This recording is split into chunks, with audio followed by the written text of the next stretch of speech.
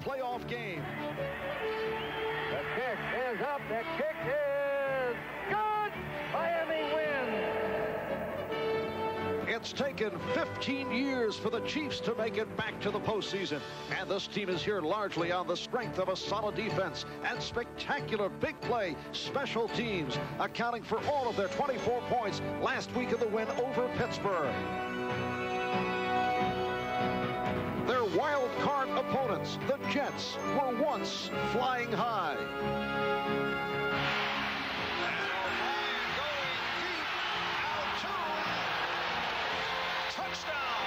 The Jets defense decimated by injuries, so the offense carried the load to a record of 10 and 1, but they have lost their last five games.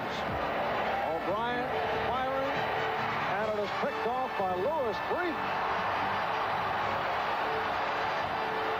There's Breeden with the second interception of the day, and the embarrassment continues. Today, Pat Ryan takes over for Ken O'Brien at quarterback. And the Jets also look to the return of Mark Gastineau. For the Chiefs, either Todd Blackledge or Bill Kenny will start at quarterback, a decision to be made just before kickoff. This is Marv Albert with Bob Griese at the Meadowlands. We'll have more later, but now let's go to NFL 86 and Bob Costas.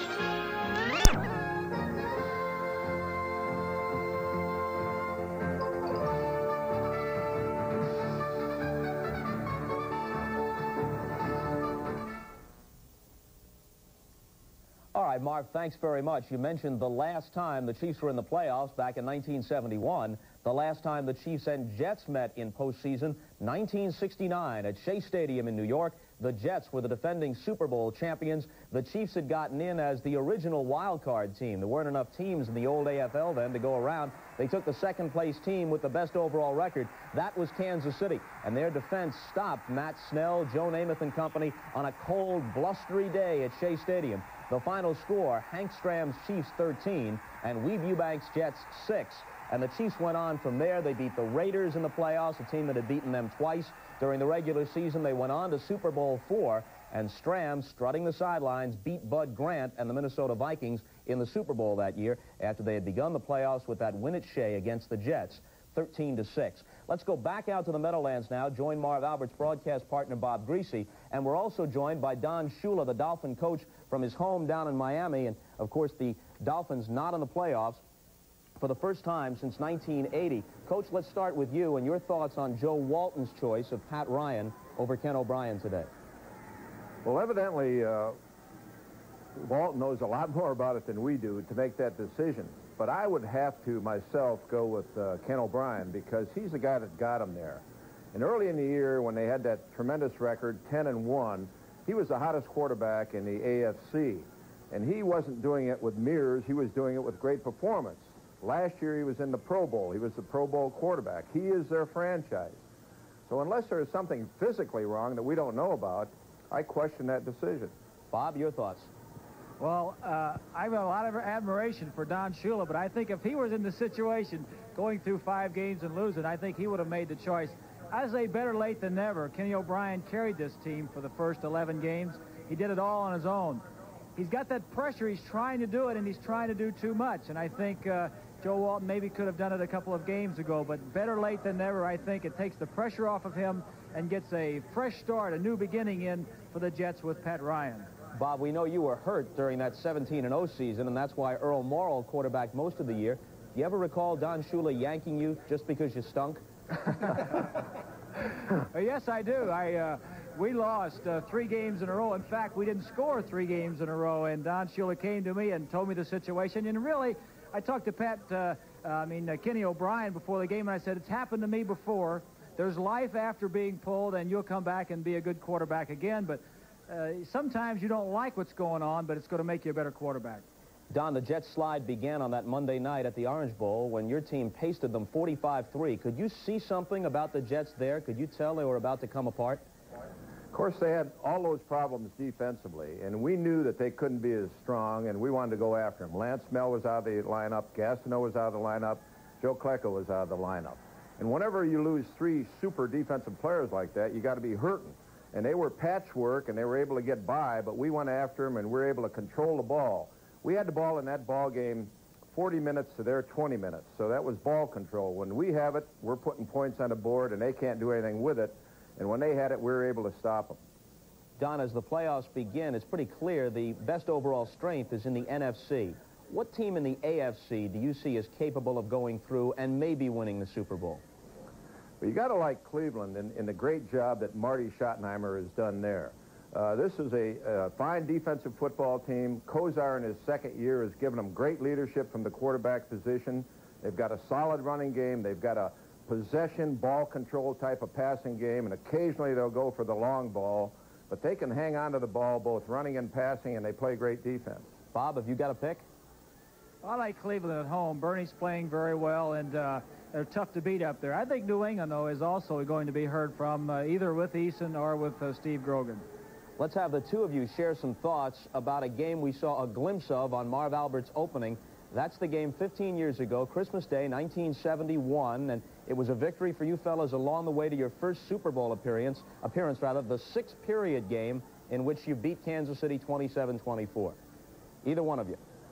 Well, it was an end of, the, uh, of an era for the Kansas City Chiefs. Uh, they have not been back to the playoffs for 15 years. That was when they had their great teams, and it was really the beginning for the Miami Dolphins. I can remember uh, coming back in that game time after time, and, and really we played well enough to win. And if we didn't win, we could have said, well, it's all right. But we came back and we won, and I think that was really the start of our uh, championship uh, years.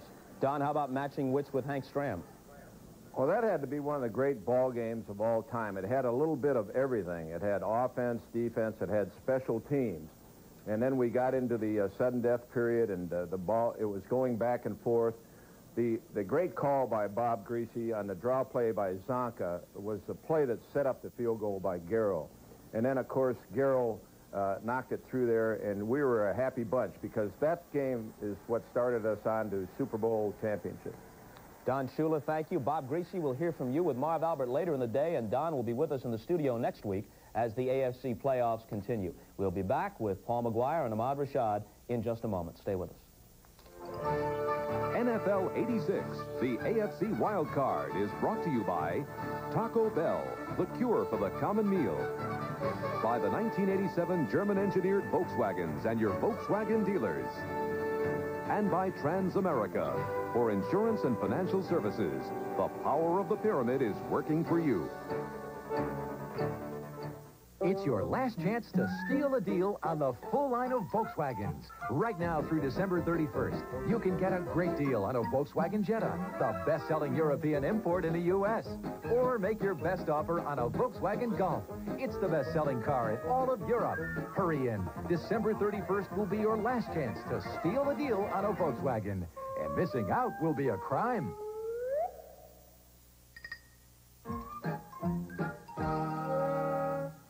We give 110%. so does Speed Stick Antiperspirant. Why? Nothing fights wetness and odor better.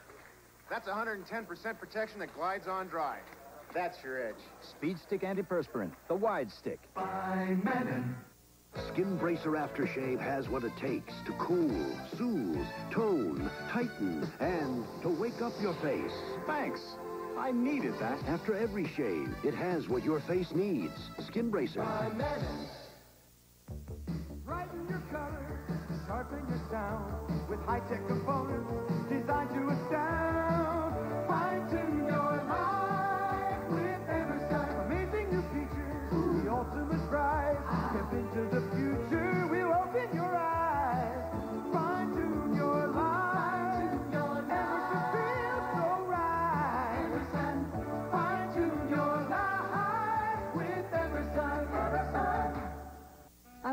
to you something that could change your life. Insurance. This is a policy from one of the world's biggest insurance specialists. For almost any kind of insurance. Because you just never know when you're going to need insurance. Excuse me. Hey, you big! You know who? Transamerica. For insurance and financial services, the power of the pyramid is working for you. Okay, back out now to the Meadowlands. Ahmad Rashad is standing by. Ahmad, a couple of questions. I see you with the overcoat on. First of all, the weather conditions, and secondly, well, take the weather first, then I'll pose the second question. Well, Bob, it's about 36 degrees out here and no wind at all. It's a wonderful day for playing football. All right, we heard Marv Albert say that the Blackledge-Kenny decision won't be made until just before kickoff. You got any thoughts? Yeah, I've been down here among the players in the warm-ups, and Todd Blackledge will start. And the players feel very confident about that. But Kenny will be, you know, he'll be on the side and he'll be prepared to play. You know, this is, it's a great day out here. I've never seen so many game faces at this stadium. And that's just the people here in the stands. Uh, the guys in the field are really ready to play.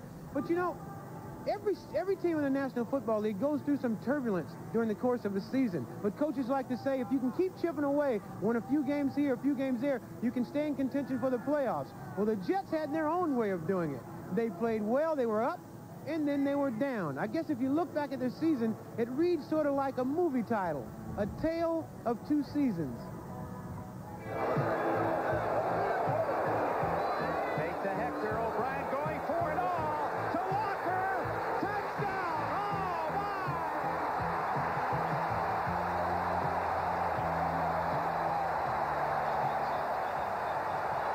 The guy that really impressed me over the day was Ken O'Brien. Late in the game, he got hurt. He had a chance to go out. He came back in. He showed his mettle. He came, up, came back in and threw the winning touchdown. I think that he has uh, evolved into a great quarterback. He really played well today.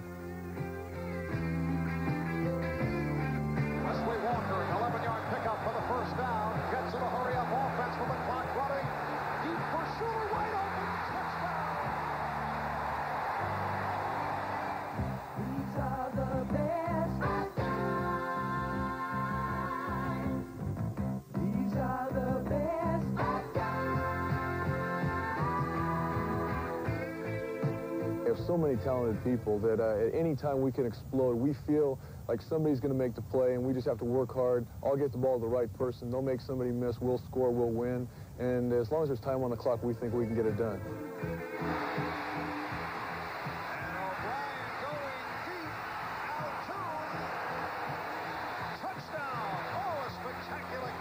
The mark of a good football team is that in tough times it bends, but it doesn't break. Against Miami in Week 12, the times got tough. The Jets traveled to the Orange Bowl in Miami with a 10-1 record and were embarrassed 45-3 in front of a national television audience. At that point, it all fell through. The Jets haven't won in the last five weeks.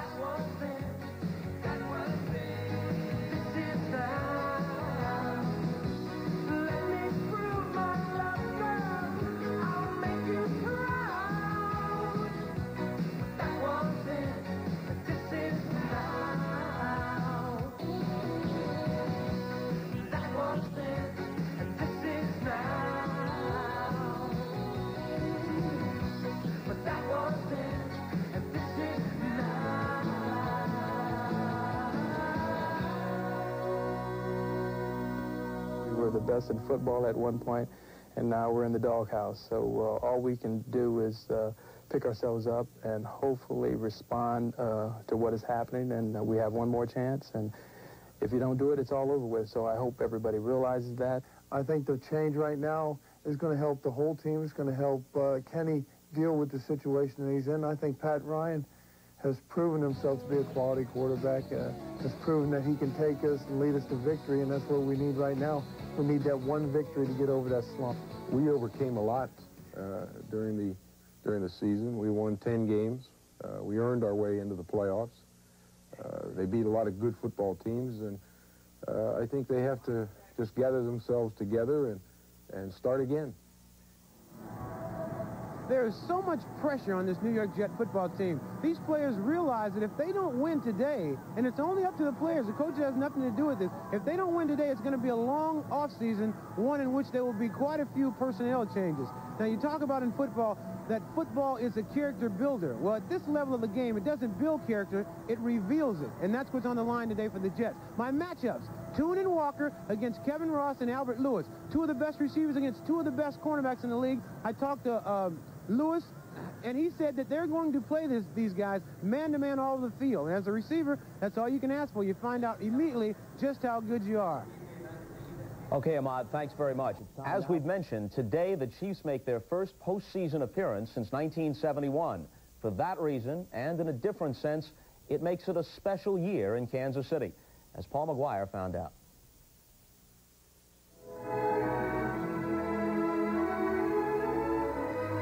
Something special this Christmas for the Kansas City Chiefs. They're working. The Chiefs are in the playoffs for the first time since 1971. But what's of very special interest is how they got there. There's no doubt our, our special teams have uh, put us in into the playoffs throughout the entire year, all 16 games. The play of our special teams has enabled us to win, I'd say 90% of our games. Former Rams and Redskins coach George Allen, who had many playoff teams because of the play of the special teams, once said, offense puts fans in the stands. Defense, well, they win ball games. But special teams, they win playoff games. That's because specialty teams can create big point swings and can change the momentum of a game.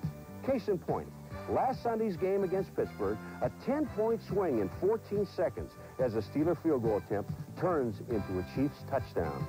Well, it's the quick change, you know, uh, making the big play. Uh, we, we are well drilled, and uh, we, we anticipate a lot out there on the field. And when we do have the, the chance, for the opportunity for the turnover, we have a thing called a jazz session, and we everybody turns around. One guy gets the ball, and uh, everybody turns around and blocks. All right, every man doing his job. Here we go, Nick. Everybody ready? All right, here we go now, Nick. All right, fly. Let's get hang time and hustle, man. Hang time and hustle. You got it. The guy that runs this finely tuned group is Coach Frank Gansz. Not only does he tell them what to do, he does it with them. What we're trying to do is get the talents, the skills, the energies, the abilities of the athletes, all of those resources directed to the critical situation at hand, whatever it might be, whether it's returning a kickoff, covering a punt, blocking a punt, blocking a field goal. Those are the things that you have to do. Most plays in football last about six seconds, but kicking team plays last much longer than that. So you've got to stay with it longer, longer than the opponent, what we call finishing the play. The Chiefs also have the defense, led by the best secondary in football. Now the offense, that could be the problem. It sputtered most of the year due to inconsistent line play and finished the season ranked dead last. Hopefully, you know, starting this Sunday, our offense is aware that what's been going on and uh, is going to take some of the pressure off us because, hey, when you're out there all that time, defense is on the field that much, turning the ball over, turning the ball over, good, giving good field position, and uh, coming up with basically nothing, it, it, you know, it wears on them, not only physically but mentally we try to think of ourselves as a total team, and we have been an opportunistic offense when we've won and played well. Pittsburgh game was a little bit misleading in how we've played during the year, but we'll take it. We'll take anything that we can get. But that's really been the earmark of our team. Our offense has been up and down, but when our offense plays well, we score points, and they really take advantage of situations and opportunities. And if that's the case, then we score enough points to win. All right. National Broadcasting Company presents the National Football League.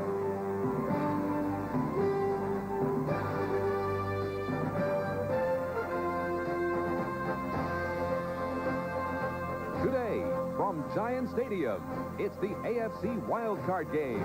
The Kansas City Chiefs versus the New York Jets.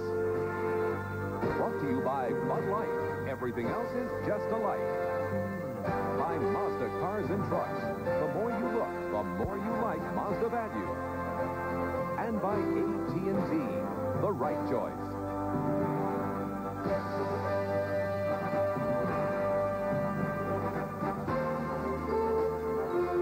A capacity crowd, 78,000 at Giant Stadium in the New Jersey Meadowlands on an overcast, brisk day. Temperature at 36 degrees. And the Jets and the Chiefs are getting ready for this AFC wild card game. Hi, everybody. Marv Albert along with Bob Griese. And as Ahmad Rashad mentioned a few moments ago on NFL 86, yes, Todd Blackledge will be the starting quarterback. So we have a tale of two starting quarterbacks who will not start this afternoon. One has been benched, the other sidelined by injury, but eventually we could see both Bill Kenny and Ken O'Brien. Well, Pat Ryan starts for the Jets, and I think it's a good move. It's a fresh start. The other players on the Jets can identify with it. He has no pressure on him. He can only be the hero, not the GOAT.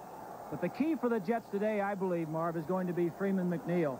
Joe Walton has called him the pulse of the offense in the past, and I think they want to get back and control the football on the ground. Bob, this is a strange playoff game. The Jets come in losers of the last five during the regular season. Kansas City ranked number 28. That is last in offense. uh, in the National Football League. What do the Chiefs have to do to beat the Jets? Well, they want to downplay their offense, obviously. Don't make any mistakes. Rely on their defense, which leads the National Football League in takeaways, and their special teams, which scored three touchdowns last week. And the special teams have had a magnificent year, led by their coach, Frank Crash Gansz. He has been an emotional leader for the Chiefs. He's done it with motivation. In fact, uh, on the flight uh, back home from Pittsburgh last week, the players gave him a standing ovation. And there's Jets special team coach Larry Pasquale. And he has had another successful season. In fact, Pasquale and Gansz coached together at the Naval Academy in the late 70s.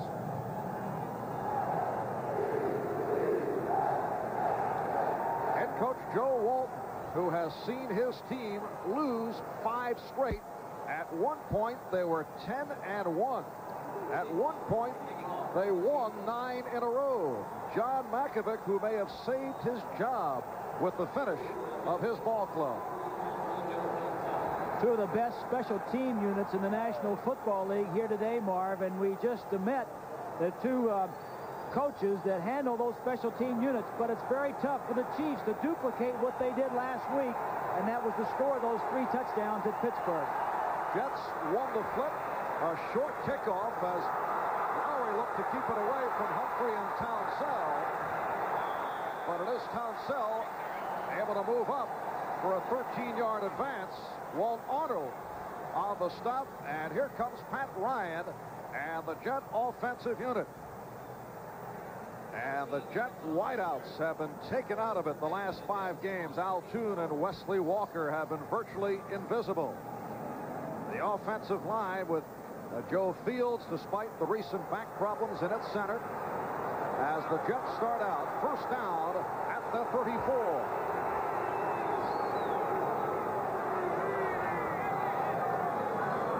And it's McNeil for a yard, stopped by Dino Hackett.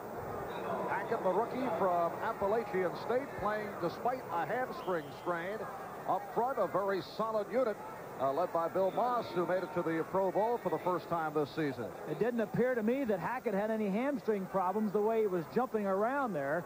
Young linebackers in that linebacker group and a fine, outstanding set of defensive backs.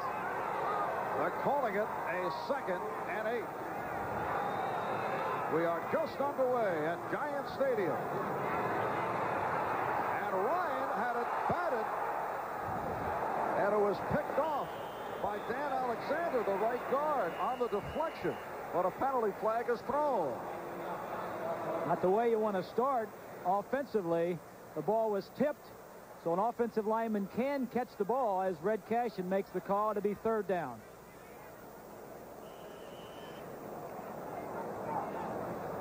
Was one of the Jet favorite uh, plays. Joe Walton bringing this over with him from the Washington Redskins. Ryan likes it. It's called a waggle. It's a half row. You either look to the tight end as Alexander makes the reception.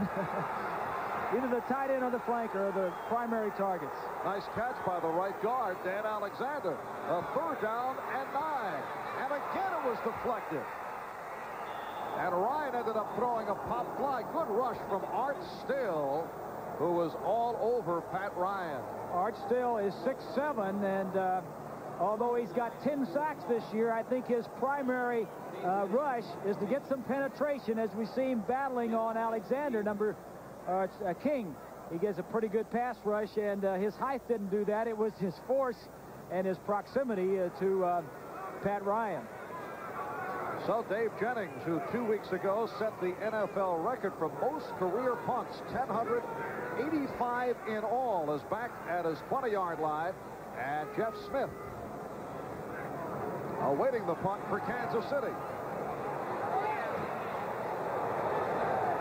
Here's Smith, who is immediately hit. 32-yard punt.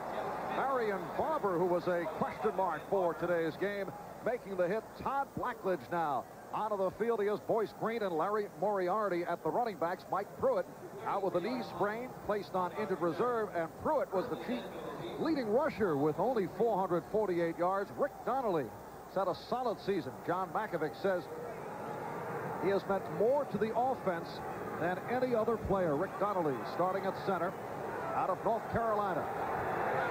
First down, Kansas City from their 33.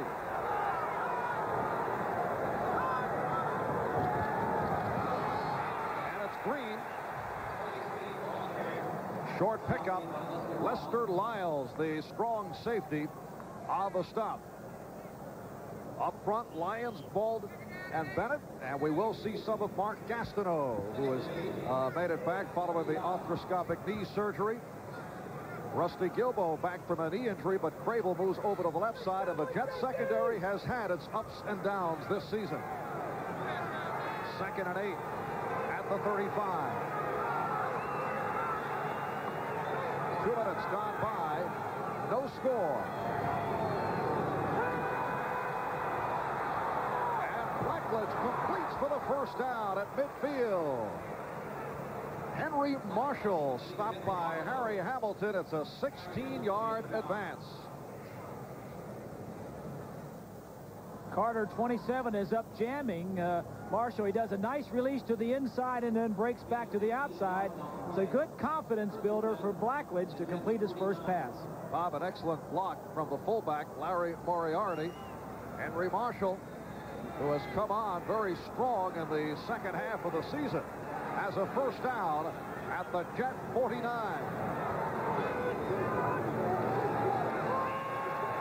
Off the play action. Intended for Stephone Paige.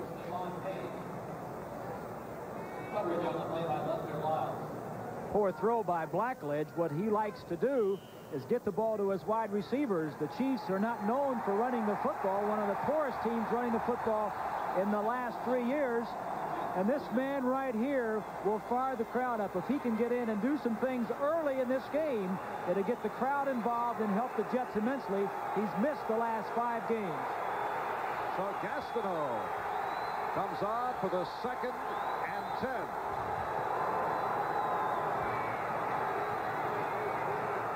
And a Boyce Green.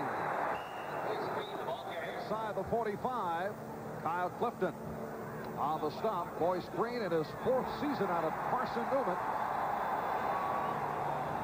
Take a look at Gastineau out where he can pass, rush the passer from an outside position. It's in a little piece of it, but the Jets have not rushed the passer this year, Marv, and that, uh, that affects directly the play of the secondary. Third down and five. Carlos Carson just off the injury list. He's out with a sprained foot, is now out to the right side.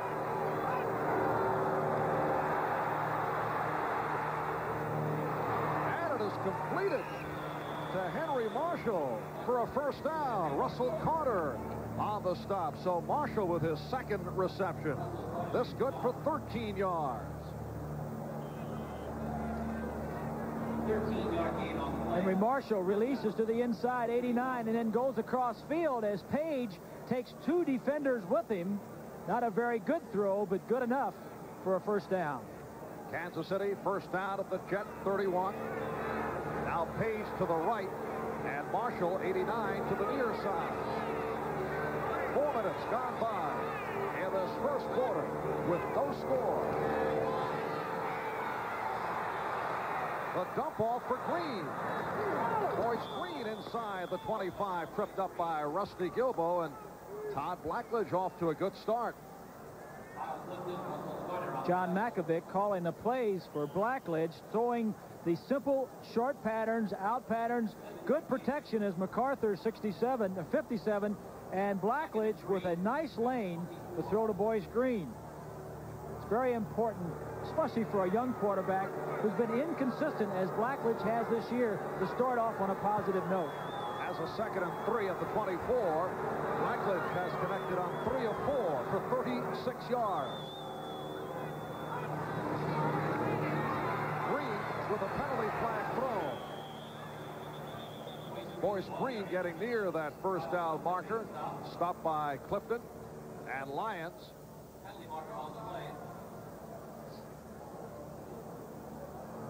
And we'll get the call from Red Cashion. Offside. against the Jets.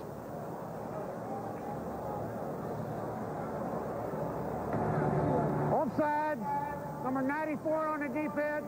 First down. That is the outside linebacker, Rusty Guilbeau, back as a starter. He had been out with that uh, hyperextended knee. The Jets are the most penalized as the closest white jersey player the Jet is offsides. Guilbeau, normally a defensive end in college, has been playing linebacker, but Carson likes to have him blitz. He's such a big, strong individual, has a very good uh, way of getting in the quarterback space on the blitzes. And it's a first down for Kansas City at the 19. A long drive. This the seventh play being run by Blackledge. And again to the ground.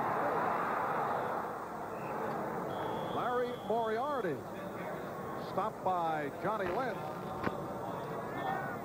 Check that. Jeff Smith, uh, the ball carrier. Take a look at the point of attack. 85 is Hayes, doubles down. Guilbeau, 94. It's handled pretty well by Moriarty. Uh, nice enough to get the back inside of him. And uh, Guilbeau has been out with an injury problem uh, most of the year. Came back, was out and missed last week's game, and uh, is back in there uh, this week trying to get some things done on the uh, defense's right side. Second and four down at the 13. That is 83 in motion. And here's Moriarty. And a fumble. The Chiefs recover. The tight end, Walt Arnold. Stephone Paige came up with the recovery. I don't know if they're going to say it was a fumble or not. May have been No. blown dead. Let's Yeah. see. Baldwin 95 tries to get in there, a little misdirection. And it looked as though he was down before the ball was out. So it's spotted at the 12, and it will be a third down and three. And this, the ninth play of the drive. Blackman throwing end zone. Down.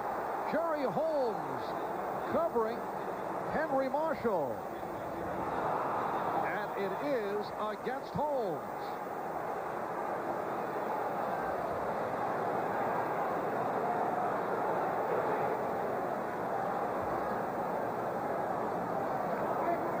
Number 47 on the defense. The ball's on the one-yard line. First down. You get a jam within five yards. Holmes is out there by himself because a blitz was coming on. The key there is Holmes does not see the ball, and Marshall, although it was a little bit underthrown into the inside, saw it and made an attempt to come back and catch it. So the ball is placed on the one. First and goal from the one for Kansas City. A quickie series for the Jets in which Pat Ryan had two of his passes deflected. And Kansas City controlling the football. Eight minutes to go in this first quarter.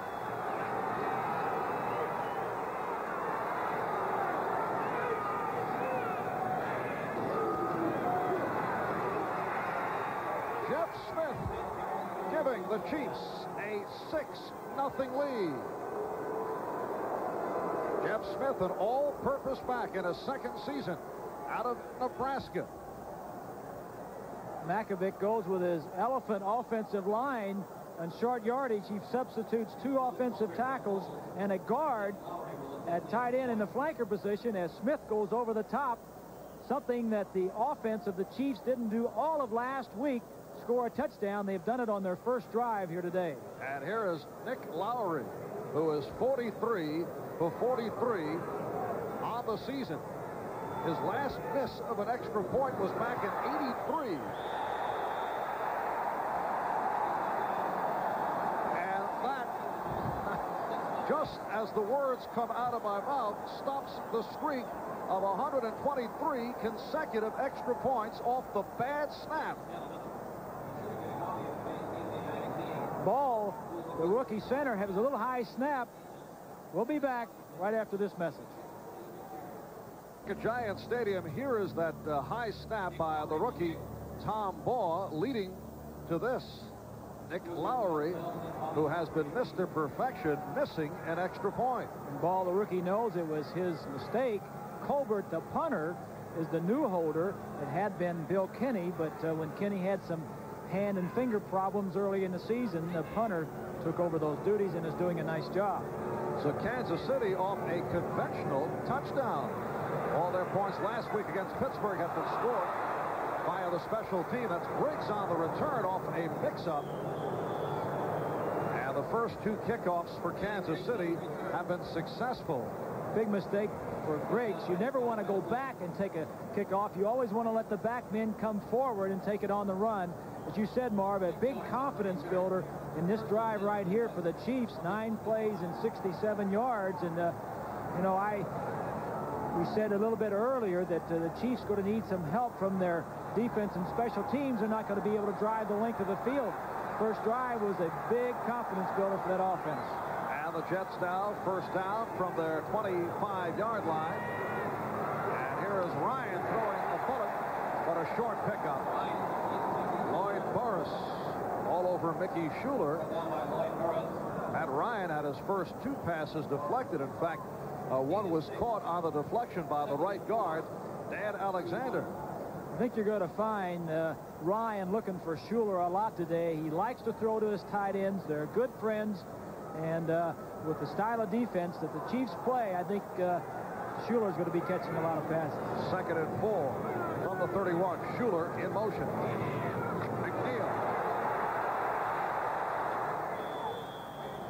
the Chiefs able to cut off Freeman McNeil, led by Dino Hackett, who leads Kansas City in total tackles. And uh, John Mackovic said before the game he will go as long as he can with that pulled hamstring. He's an outstanding player and has been there ever since the uh, first week in training camp. Their inside linebacker, a uh, sure tackler, a you know one of the young linebackers. They also have another rookie, uh, Cofield, a free agent the secondary. They've simplified it. Third down and one from the 34. And it will be close. Tony Paige, who has been the Jet short yardage specialist, picks it up. Art Still on the tackle. One of the things that Walt Corey, the defensive coordinator for the Chiefs, has done, Marv, is simplified that defense, which allows some younger players, some first-year players, to come in and play. Now, what that does is it's not as complicated and they can be more aggressive. They don't do as many things, not as many audibles coming after the uh, man goes in motion. Just physical, line up and play the game. Jets first down from the 36. Ryan had the time. Shuler covered well. Lloyd Burruss, the strong safety, in his sixth year out of Maryland, making the stop on Mickey Shuler.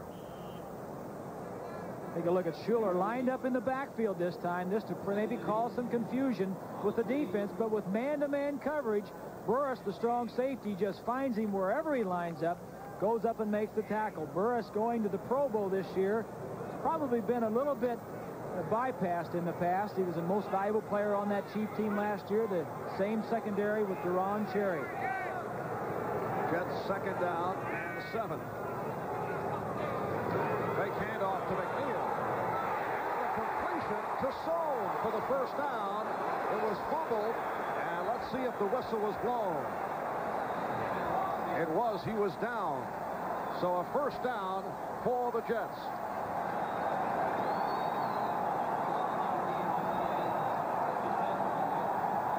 Good protection as Sohn coming across the field. Looks like it is out after he hits the ground, therefore no fumble as we take a reverse angle. Look at the play.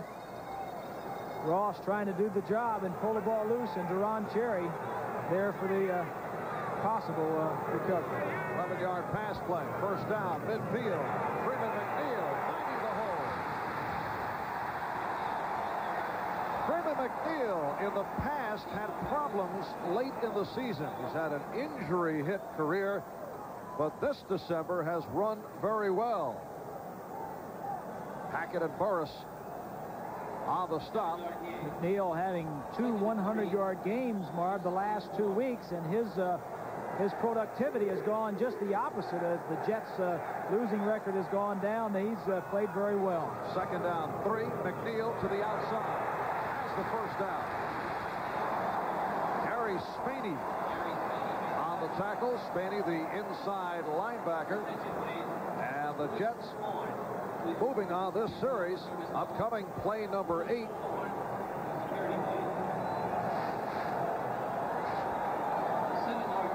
The Jets opening up with that record of 10 and 1. And as you mentioned last week during our telecast of the Jets-Cincinnati game, after 11 games, looked like Ken O'Brien was the most valuable player of the National Football League, but the last five weeks they've gone the other way. And Ryan throws the middle. One-handed attempt by Shuler. And Burruss would not allow it. Well, they play a lot of man coverage in the secondary for the Chiefs. Here's a look at Shuler. He's going to be working on Burruss. Number 34. Burruss is right there. Does a nice job. The ball's a little thrown to the inside. Ryan expected him to move a little bit to the inside, and he didn't do it. Now, here's a look up front. Cooper with uh, blocked pretty well, but Koch, 74, gets in to say a little bit of uh, holiday greetings to uh, Pat Ryan. Pete Koch, a local product out of Manhasset, Long Island, was all over Pat Ryan, who now faces a second and 10. Here is McNeil. Slashing his way inside the 35-yard line. Art Still, another local area product out of Camden, New Jersey, on the stop. And it will be a third down and six for the Jets. 2.45 to go. In this first quarter, the Chiefs lead it 6 to nothing. A bad snap on the extra point attempt, costing Nick Lowery.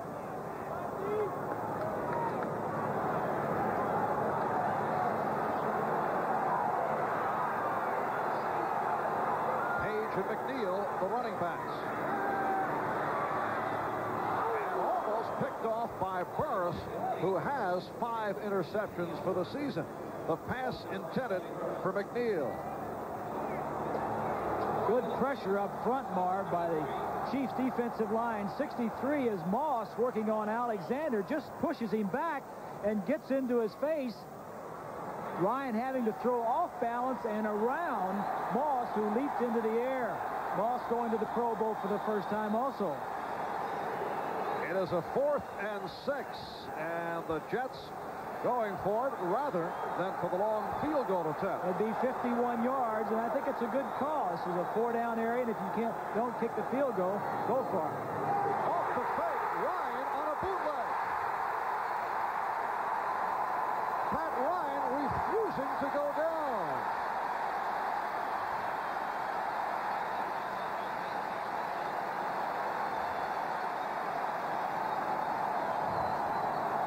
Richie Kotite, the offensive coordinator, said the tackles for the Chiefs play wide on nickel situations. We're going to fake the pitch, come back with Ryan up the middle. And also, you may see some quarterback draws because of that defensive philosophy by the Chiefs. 24-yard run by Ryan, who is asking for quiet for the first and goal from the nine.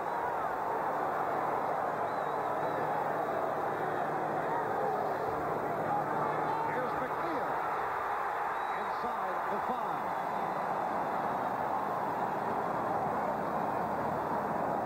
The Jets want to run left, Marv. They want to run at Pete Koch and also Cofield on that left side. They feel like they're a little bit weaker than the other side of that defense. Second and goal at the four. Walt Corey, the defensive coordinator,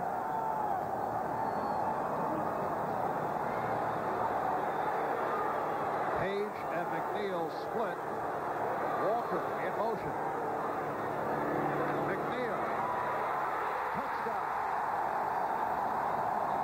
And again, it's to the left. The Jets and Kansas City tied at six.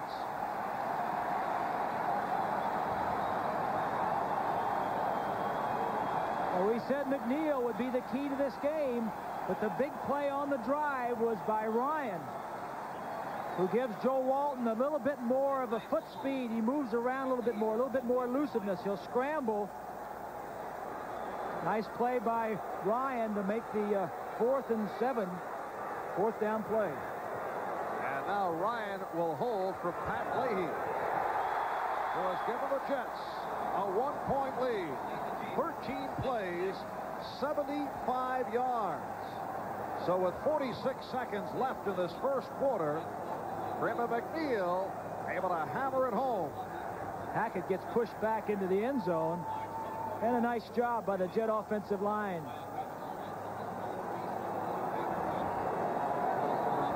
So head coach Joe Walton and his Jets over Kansas City by one.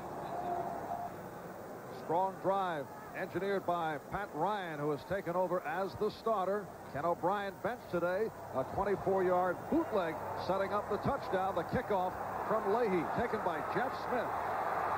And Smith with the opening brings across the 30-yard line. A 22-yard return. Billy Griggs involved on the tackle. 37 seconds to go. In this first quarter, a timeout taken. We'll be right back. And the winner today will play at Cleveland next Saturday against the Cleveland Browns. A 7-6 Jet lead over Kansas City. Todd Blackledge, the quarterback for the injured Bill Kenney. Bruised his thumb last week. Blackledge took over. Final seven minutes when Kenney was injured against Pittsburgh. First down of the 32. Mark Gastineau is back in on the right side for the Jets.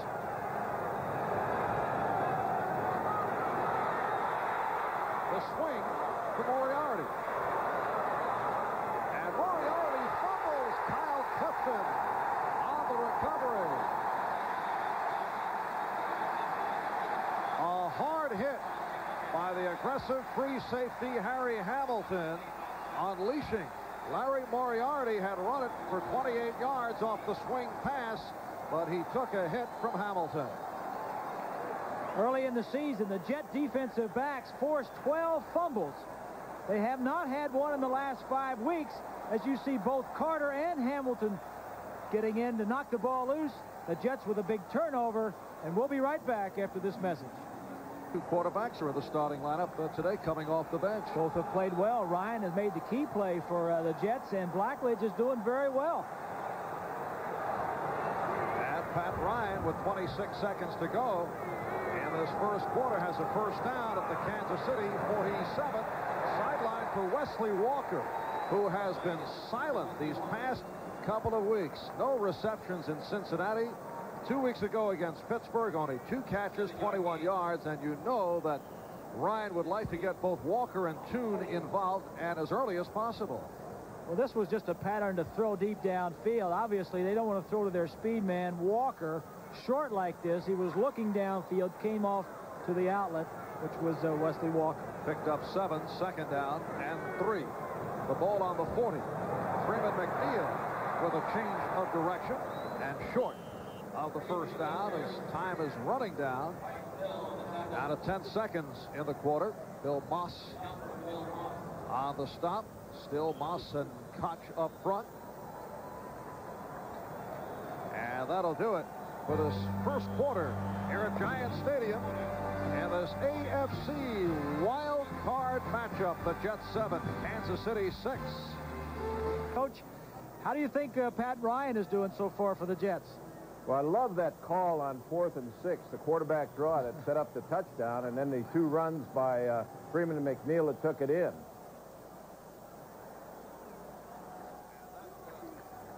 A move that went for 24 yards to lead to the touchdown for the Jets. He would love that quarterback draw. He put it in a few of my game plans. So we're underway, second quarter, a third down and two, the Jets of the Kansas City 39. Now Al Toon for a very short pickup. Albert Lewis, the left corner, making the stop. As we take a look at the first quarter stats, the, the only telling thing there is the turnover. The Chiefs had a turnover on the Moriarty fumble. Have a possession a little bit in the Jets' favor when you would expect that to be that way because of the running of Freeman McNeil. And Toon did pick up the first down. Marty Lyons and the Jet defensive unit looking on. One of the inspirational leaders right there, Lyons, of this team. He and Klecko and Joe Fields, the inspirational leaders. First down from the 37. Off the slant, picking his way, Freeman McNeil inside the 30. Kevin Ross tripped him up.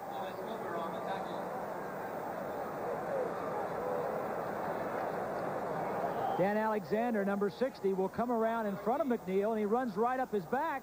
That's fine as long as you don't see a red shirt. You see him grabbing a hold of, of Alexander says, I'm going where you're going. You're a lot bigger than I am. And he picked up nine. It is a second and one at the 28, and Freeman McNeil is off to a fast start.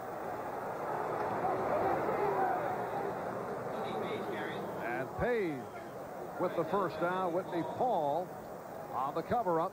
There's Whitney Paul, backup linebacker who began his career with Kansas City, then traded to New Orleans, and he's uh, back here with the Chiefs. So a first down for the Jets at the Kansas City 26. Bob, the strength of this Chief defense is their secondary.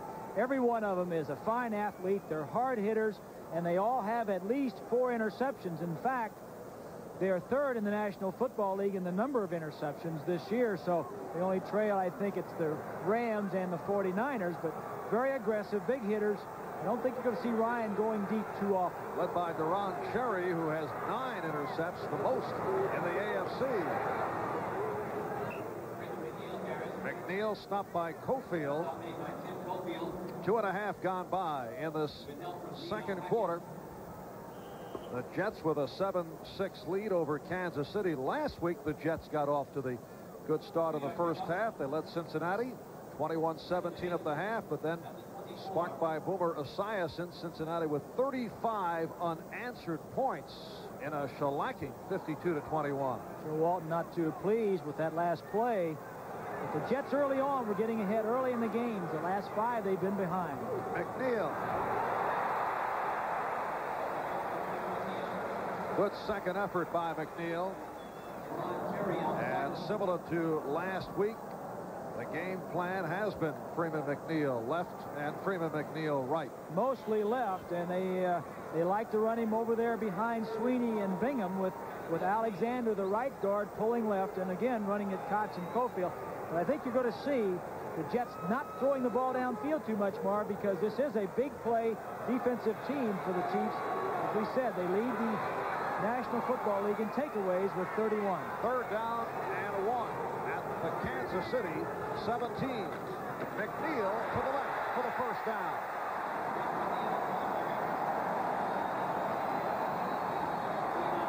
Mark Gastineau sitting with all his friends. and staying warm at the same time. The Jets first down at the 13.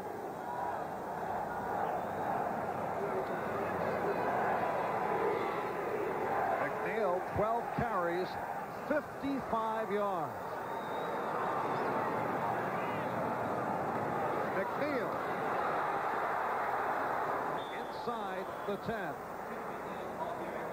Kevin Ross, a cornerback on the right. Inside linebacker Gary Spani combining to make the stop. Let's take a look at this, Marv. Both uh, right uh, linemen, uh, King and Alexander, are going to pull to the left side, running to the left with Alexander. They're probably their best offensive lineman. Bingham gets the uh, seal block.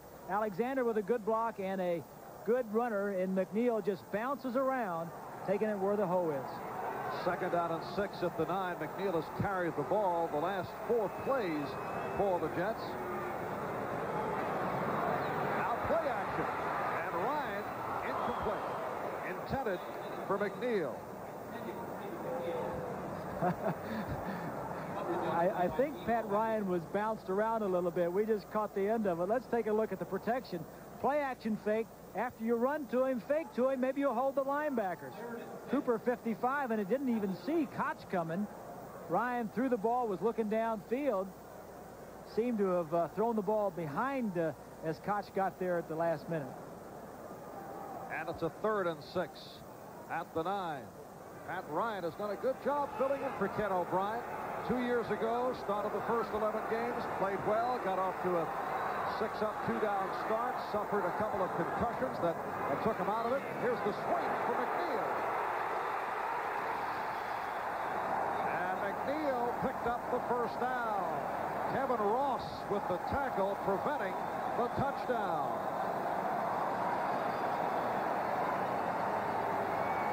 Marvy picked up the first down, but there was a defensive man that got picked as Toon comes in here and will set a pick as McNeil goes out into the flat. Now watch the motion man. Al Toon, he bumps a man there. Now he comes in and bumps another man. Burruss right there. Nobody out in the flat with a guard in front. And when you talk about a pick, you could take a jumper behind the pick of Al Toon, who goes 6'4", 205 pounds. The ball at the one, first and goal. The looping pass for McNeil.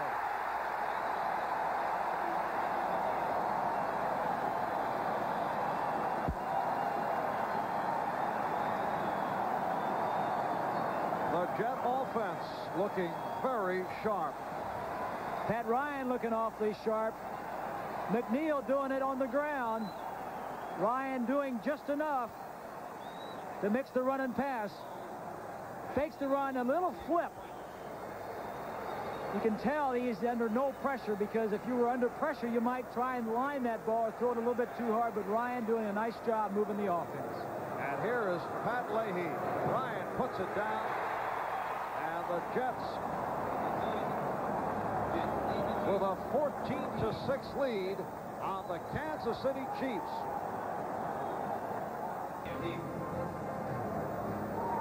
Marv Albert, Bob Griese from the New Jersey Meadowlands on a 35 degree day.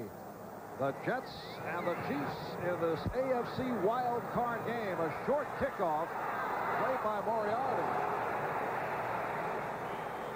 Pat Leahy looking to keep it away from Jeff Smith. Flag has been thrown. Michael Hopper on the coverage of Moriarty. Referee is Red Cashion.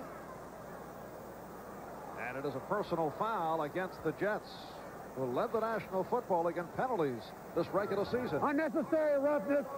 Number 30 by the kickers. First down.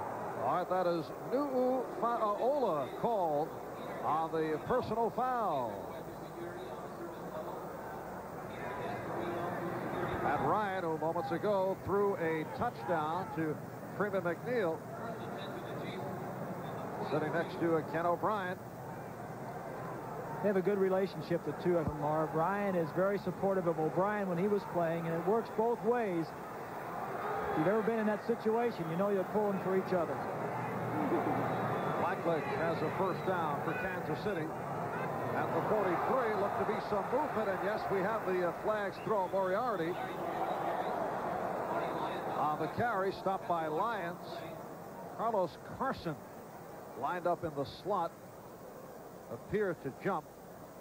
Carlos Carson just off the injury list. He'd been sitting out with that sprained foot. Illegal motion at the snap is the call.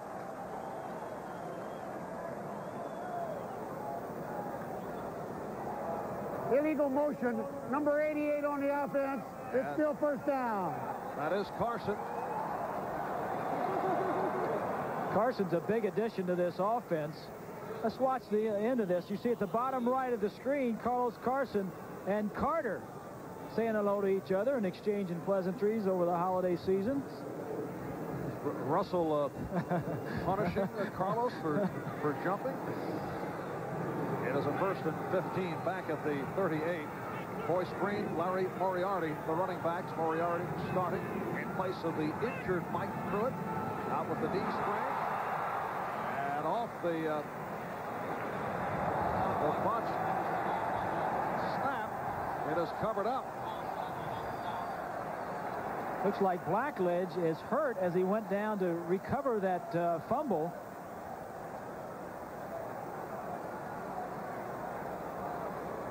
Todd Blackledge, who was out there replacing Bill Kenney, who bruised his thumb and sprained a ligament. And his index finger is now headed to the sideline as Kenney gets ready. I don't know if it's a shoulder or what. He was pointing to his left shoulder as he pulled out a little bit too quick. The ball is on the ground. Let's see. I think he gets speared as when he's recovering the football right there. Yeah, he gets hit on his left shoulder. And that was Kyle Clifton, the inside linebacker, all over Todd Blackledge. So Bill Kenney has come on. It is a second and 16 at the 37. Last week, Kenney was injured when his hand struck the helmet of teammate Irv Eatman. Kenney said he is throwing well, but he didn't know if he can take snaps. He's not taking snaps all week long. On the handoff, Moriarty is stopped and another flag thrown. The third string quarterback, in case you're wondering, for the Kansas City Chiefs is a first-year player out of Kansas by the name of Frank Seurer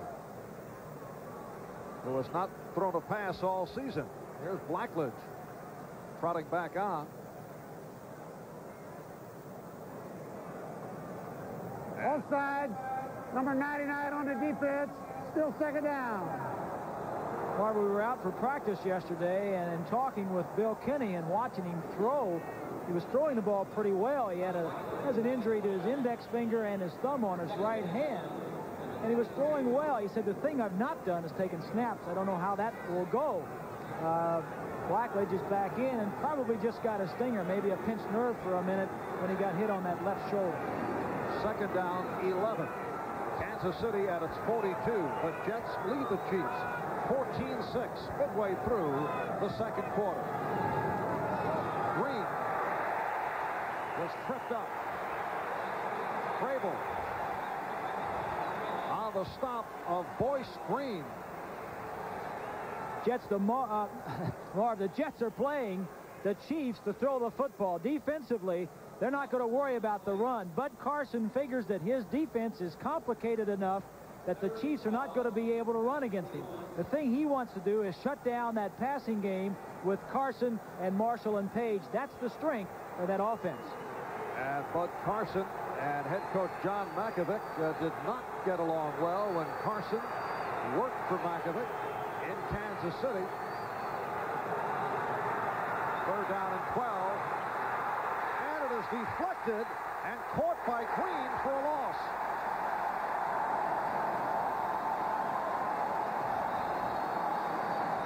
Derland Moore, a recent addition to the Jets squad, a 14-year pro out of Oklahoma who spent most of his career with the New Orleans Saints in on the play to get a piece of the pass attempt from Blackledge. Well, the question coming in is that would Carson have to use his linebackers and his defensive backs to put pressure on Blackledge?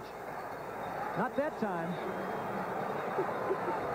And Lewis Colbert, a rookie out of Auburn, getting set to punt from his 15 off that 11-yard loss. Kurt Sohn awaiting the punt. And it is a good one. Here's Sohn. 44-yard punt and a four-yard return. Just under six minutes to go. First half, the Jets lead the Chiefs 14-6. And there's Kansas City head coach John Mackovic enjoying his first winning season after going 6 and 10, 8 and 8, 6 and 10. And this season, 10 up and 6 down. Kansas City finishing by winning its last three over Denver, beating the Raiders in Los Angeles, and then last week winning in Pittsburgh, and that after losses to Buffalo, St. Louis, and Denver. So this uh, club that has had its ups and downs, although they finished at 10 and 6. The Jets taking over first down at the 30. 89 is Cleaver in motion. And it's Freeman McNeil Out to the 34. It'll set up a second down and six. Gary Spani, the inside linebacker, and cornerback Kevin Ross combining on the stop. Getting back to the situation between Mackovic and Jets defensive coordinator Bud Carson. Carson had said that Mackovic did not know anything at all about defensive football. Uh, yes, they had their disagreements, of course. Well, Bud Carson likes to have control of his own personnel. I think the discrepancy or the problem was that he wanted to keep some players, and uh, Mackovic had some other ideas. Here's the second down call from McNeil. And a short pickup. Deron Cherry, who played for Carson in Kansas City, said when he first met Bud Carson, he thought Carson was a madman. but now Cherry says he's the best he ever played for. It's a high compliment. The different styles in the two defenses, the defensive coordinators, is Carson's is the more complicated. The Chiefs with Walt Corey is very simple. Be aggressive, be physical, and be simple the type of reaction you bring out when people uh, meet you for the first time. They say he's a madman. it's a third down and two at the 38. McNeil tried to go outside, but could not. Dino Hackett up to make the stop. There's Hackett, number 56. He has had a terrific rookie season. And the Jet punting unit has come out. Jeff Smith will drop back. And Dave Jennings will punt from inside his 20. There's Smith, second-year man from Nebraska, and the veteran Jennings. 4-11 remaining in the second quarter. The good special teams and all the punts that have been blocked by this Kansas City Chief team has caused the punters to hurry a lot of their punts and not punt as well. No problem that time. Jennings getting it away. And here's the return by Smith. Good coverage. And the Jets' coverage on punt returns has been superb. A 40-yard punt and a loss of two on the return. Well, backup running back Marion Barber, a question mark for today because of a shin injury, but he's in there and has been outstanding on the special teams. Barber getting to Smith for the loss on the punt return, his third special teams tackle of the day. Just under four to go. First half, the Jets 14, the Chiefs 6. Chiefs first down from their 25-yard line. Green and Smith now, the running backs. Good job, And it's completed to Marshall. Out of the 29, Jerry Holmes on the stop, an advance of four. Talking with the Jets earlier today, they felt they matched up very well with the Chiefs. Chiefs offense not playing so well. The, Jet, the Jets defense has not played that well of late. And uh, offensively, they felt good with Pat Ryan going against the aggressive uh, Chiefs defense. Things have worked out for them so far. Second and six. Kansas City from their 29.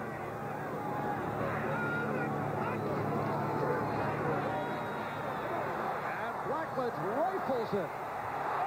Intended for Marshall. That is the first time he has looked to go deep. Harry Hamilton on the coverage of Henry Marshall.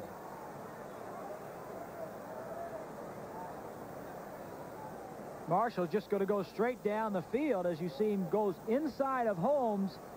Now Hamilton reads it the entire way. One of the things, and he went right through his hands, one of the things you have to do, Marv, is look off the free safety, and Blackledge was not doing that yesterday in practice and again not doing it today and it's very difficult to try and complete something down the field if you don't look the safeties off. Now Blackledge has a third down and six. The crowd getting into it. Four whiteouts for the KC Chiefs. Blackledge under pressure.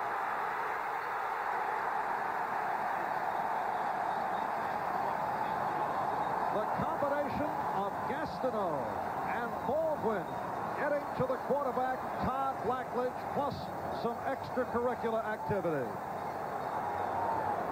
And Marv, quarterbacks read the paper and the uh, the injured list just like anybody else. Blackledge knows Gastineau is back. He's looking for him, looking around, and so is the entire offensive line. That allowed the other Jets to get in there put pressure on him. But that is one thing about the presence of a Mark Gastineau.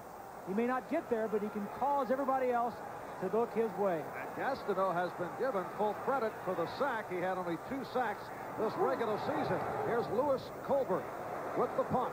Kurt Sohn steps out at about the 38. A 36-yard punt, and the Jets will take over, but uh, Jets and Chiefs players continue to jaw at each other. So it'll be a first down for the Jets from their 38. Blackledge is looking downfield, but you can be sure he feels the pressure. That's uh, Baldwin, 95. Gastineau grabs a hold and gets pressure and credit for the sack, but uh, and he's going to take credit. you know, as some people may like this and some may not, but one thing it does do for the Jets, it tells them that things are back to normal. Play action for Pat Ryan on first down. Can't find anyone. And is brought down by Hackett. So Dino Hackett getting to the quarterback, Pat Ryan. You know, going into today, Bob, many felt, and asking the question as you look at the overview of the game, is the Jet game plan to stop the Kansas City defense from scoring. But you're right. You know, you, you cannot take chances when you take a, a, team like the Chiefs who are very aggressive defensively and have so many turnovers. I'm sure that's one of the main concerns of Walton and Ryan is not to turn the ball over. But it has gone the Jet way. A 14-6 lead. We approach two minutes remaining in this first half. Sohn 87 in motion. Now two. Has the first down. And some more. Hackett pushed him out. And this is a chant that the Jets have not heard in some time. The reaction to Toon, who just went 30 yards on the pass play. We're just under two minutes to go, first half. When we resume, the Jets will be first down. Now look, they get a man-to-man -man over here on half the field on Toon. Single coverage, and he is the greatest in the National Football League. Breaking tackles, breaks one from Ross, breaks one from Burruss, gets some extra yardage. The end result, Jets first down at the Kansas City 37. Play action, and Ryan steps up and is able to complete at the 30 to the tight end Mickey Shuler. Tim Cofield covered him up. It'll be a second and three. The Jets in their hurry up with a minute and 40 remaining. First half. Now McNeil found the hole. Has the first down. Hackett on the tackle. And the clock has been stopped. Timeout called by the Jets. A minute 34 remaining. First half. We'll be back in a moment. The Jets 14, Kansas City 6. The Jets first down at the Chiefs 23. And Ryan has Shuler over the middle for another Jet first down. Deron Cherry had some difficulty bringing Shuler down. Back short, to the hurry up. Short passes, Marv. Short passes. It is a first down at the 11. And it's broken up. Intended for Shuler. Lloyd Burruss, the strong safety, got a piece of it. Ball was right there and an excellent play by Burruss. The Jets, sparked by Ryan, who took over for Ken O'Brien, has come to life here in this first half. They're doing it with the running of McNeil and the short passing of Pat uh, Ryan. Raymond McNeil, 70 yards on 17 carries. You know, Marv, the other thing that the, the change in quarterbacks has done is allowed Joe Walton to call plays for a different style of quarterback. And here is Ryan, who is 11 for 16, throwing it high and far. He saw Wesley Walker was covered, so he threw it away. Line up and call another play. I didn't like that play. Throw it out of bounds. I'm not going to throw it in there and make an interception. He wants to come out at least with three one more chance for a touchdown.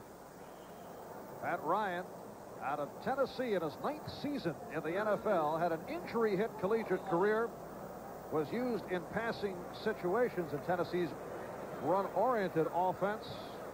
He is more mobile than O'Brien. Consider him a uh, solid short to medium range passer. Doesn't have the long arm that O'Brien possesses. Eighth play of the drive. Third down, 10. Ryan with a bump. Touchdown.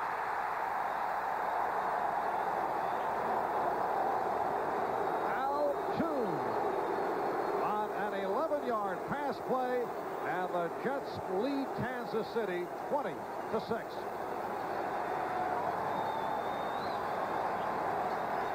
Toon was lined up at tight end, Marv. The motion helped disguise where he was lined up, and Toon, who is a good possession receiver, just slips down to the middle of the end zone and takes the reception. Al Toon caught eight touchdown passes during the regular season. Eight plays, 62 yards, and Pat Leahy adds to the lead. 59 seconds left first half, and the Jets now lead Kansas City 21 to 6. Take a look at that play. Toon lined up at tight end right here. The motion man is going to come downfield. The other back is going to come out, but Toon not getting all the attention because he's not moving. The moving men get the attention. Toon slips downfield and then hooks inside of the linebacker. It's an easy throw for Pat Ryan. Walton calls the plays.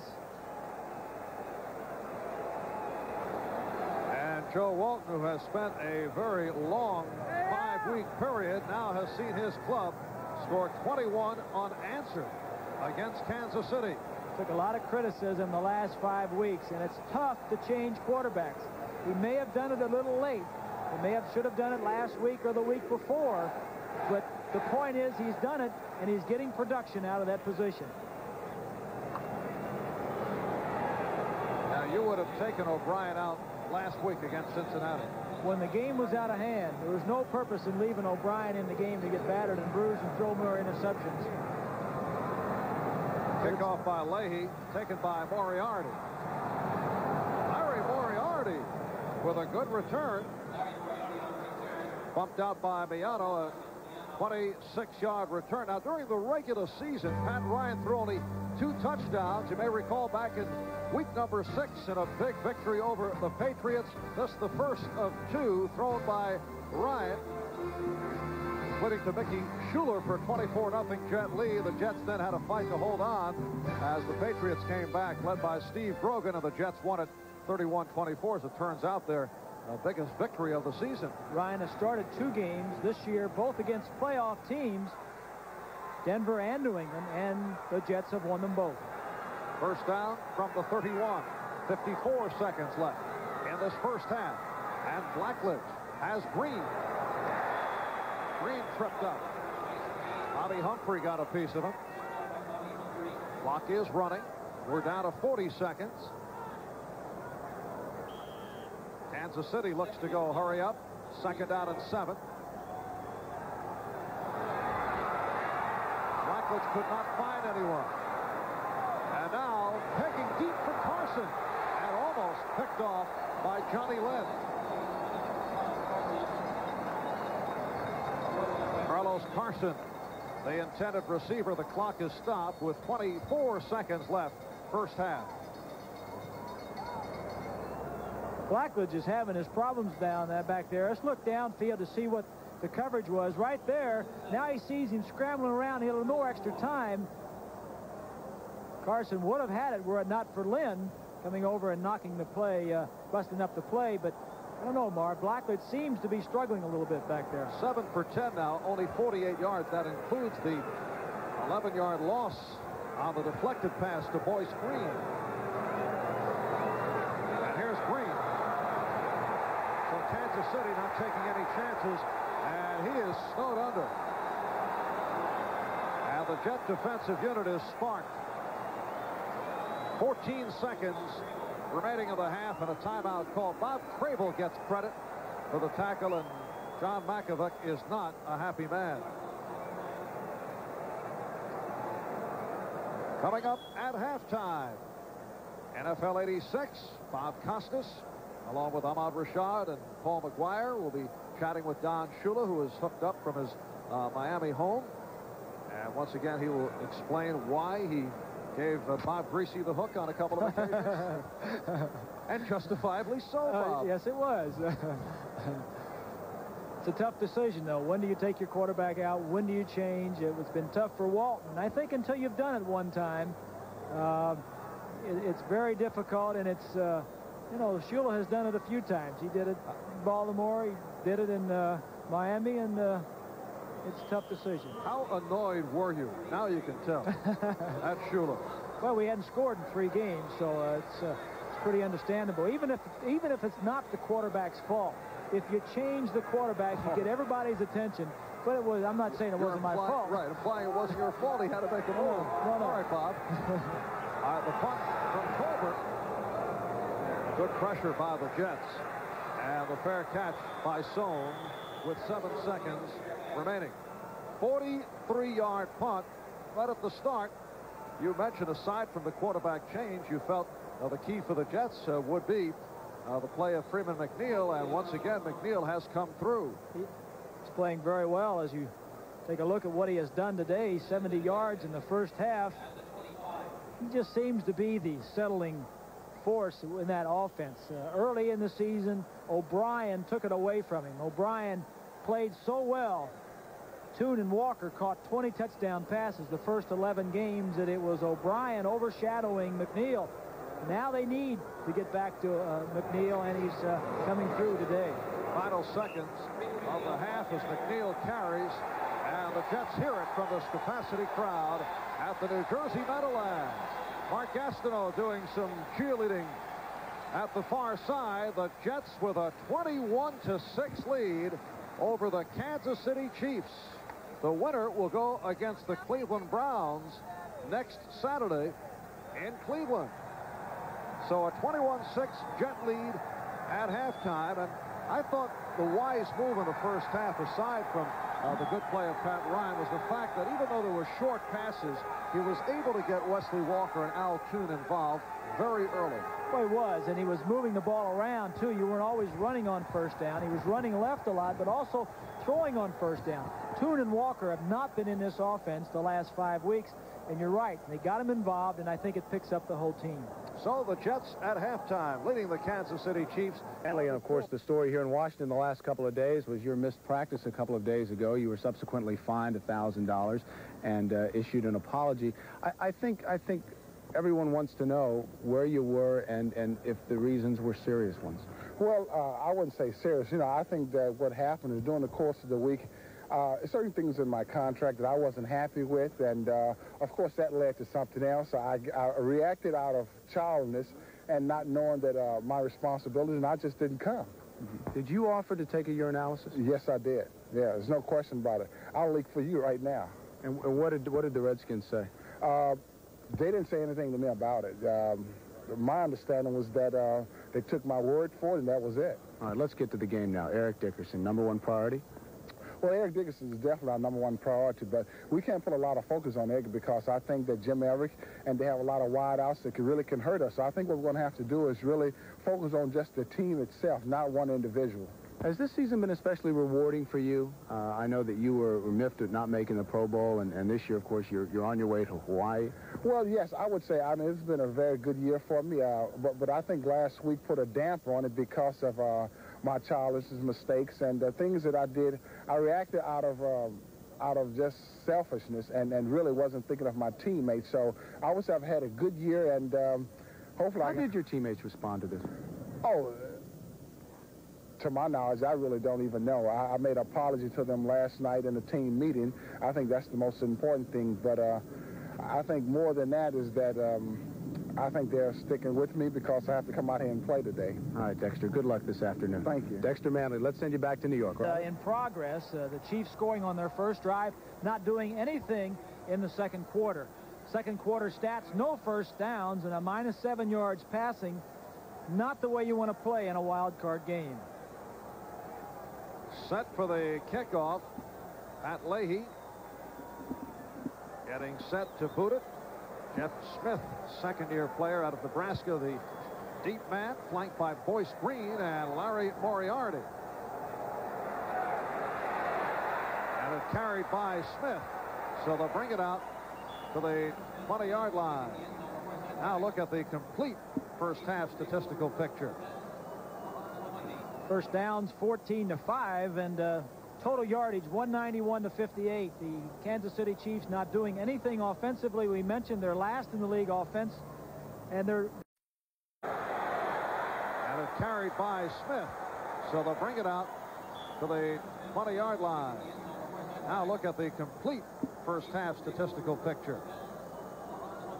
First downs 14 to 5 and uh, total yardage 191 to 58. The Kansas City Chiefs not doing anything offensively. We mentioned they're last in the league offense and they're they're second last in possession time. So the time of possession is really nothing there either. The, the surprising thing or the thing that they're looking for and not getting, no turnovers by their defense and no big plays on special teams. So Todd Blackledge, 7 for 10, only 48 yards starting out this third quarter. Looking for the pass. And it's intercepted. Kevin McArthur on a 21-yard touchdown interception return.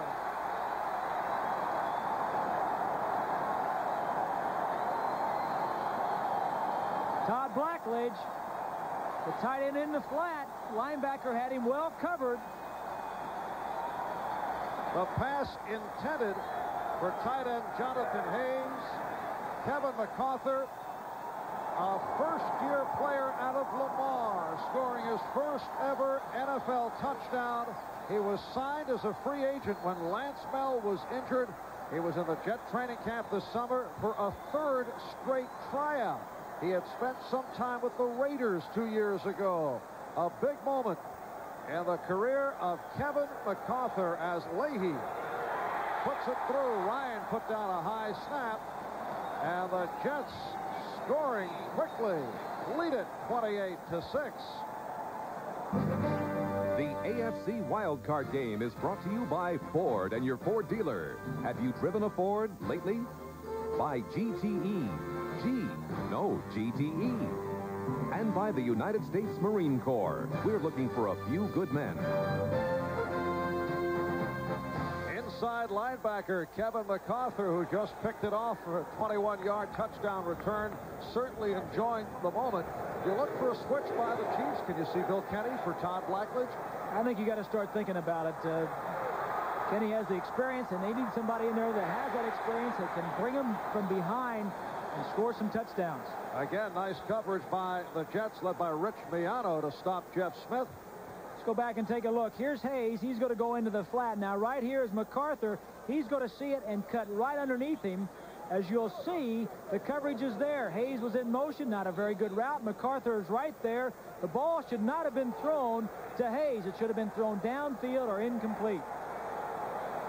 And John Mackovic staying with Todd Blackledge. Of course, we do not know for certain the extent of the injury suffered by Bill Kenney, although he did look pretty good yesterday in practice.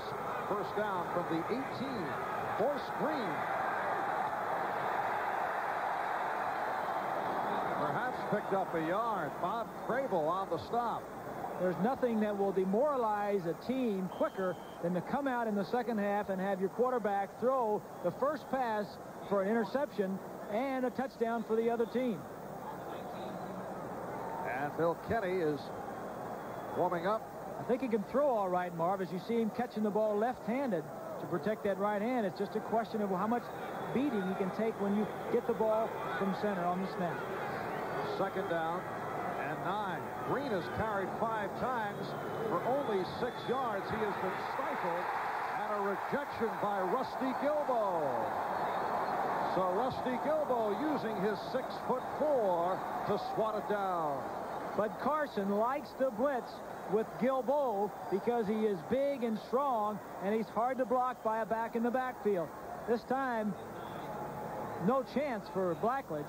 And if the man is there, you have to step around or do something. You just don't throw it into his arms if he's leaping in the air. Todd Blackledge began the season as the starting quarterback, lost the job after seven games, returned to the lineup three weeks ago when Bill Kenney was hurt, led Kansas City to the victory over Denver.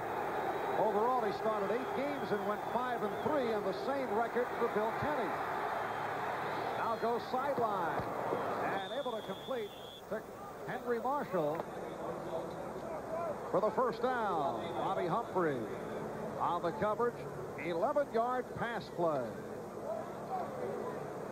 Marshall to the right of your screen. It's going to go down and break to the outside. Paige, the inside receiver, is going to go deep. Now, if the man that was between him would have come up to cover Marshall, then Blackledge would have thrown to Paige deeper downfield. Kansas City first down, just inside their 30. Minute 15 gone by. Third quarter, the Jets 28, the Chiefs 6. Stephone Paige in motion. Boyce Green with flags thrown. Green stopped at the line by Barry Bennett.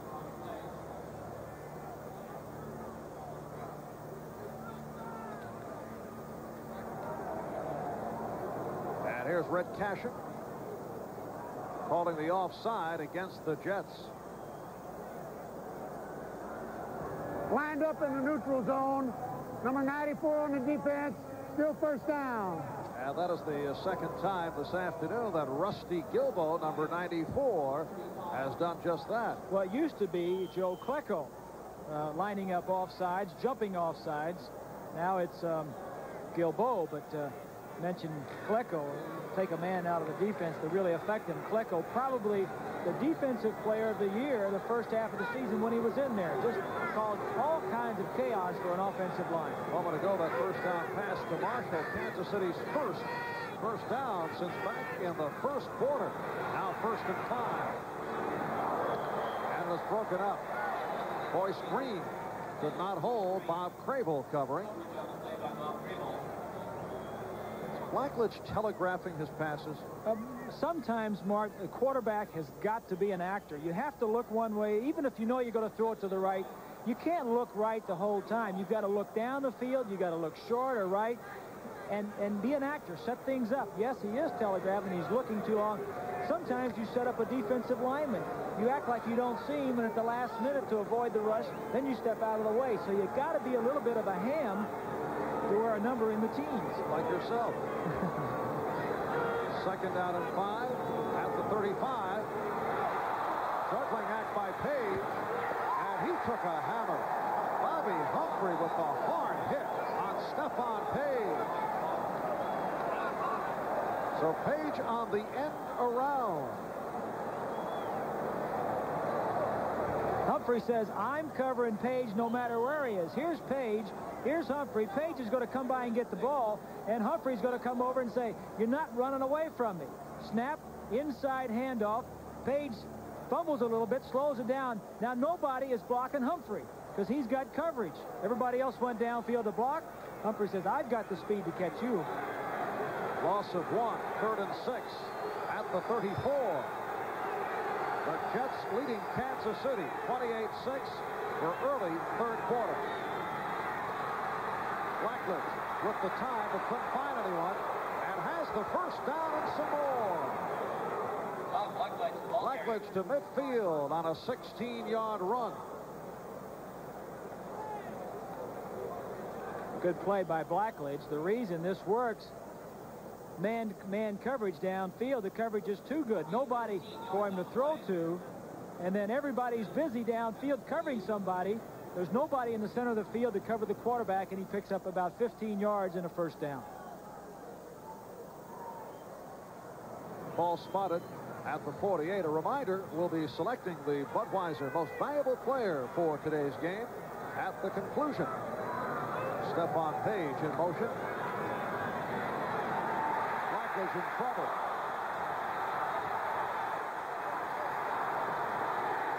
And bumped out by Lyons.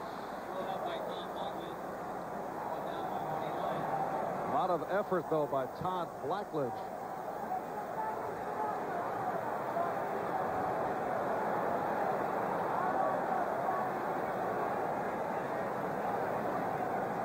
Blackledge getting back to the line of scrimmage. Lyons gets credit for the sack. Marty Lyons, who made his way back last week despite the sore shoulder, and he has been playing with a, a harness, and he is not 100%. I think John Mackovic is probably, as we look at Marty Lyons, uh, maybe going to Kenney pretty soon if uh, if uh, Blackledge doesn't get something done on this drive. 83 Paige lining up slot left. And uh, the 30-second clock showing a zero. Let's see if they call for the timeout. Apparently he did, so he uh, did beat the clock, and a timeout is called. Now the arm to avoid the 30-second clock. Second and 10 at the 48. Jeff Smith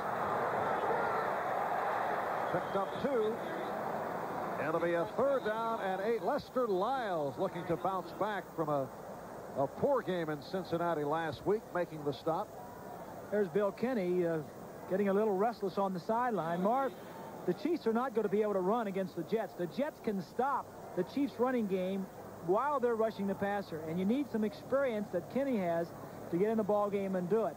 I don't think that, that Blackledge has got the confidence about him that he can bring this team back, and I think if, if Kenney can go at all and taking the snaps from center, that uh, he'll be the man that's going to bring him back if they're going to get back in this football game.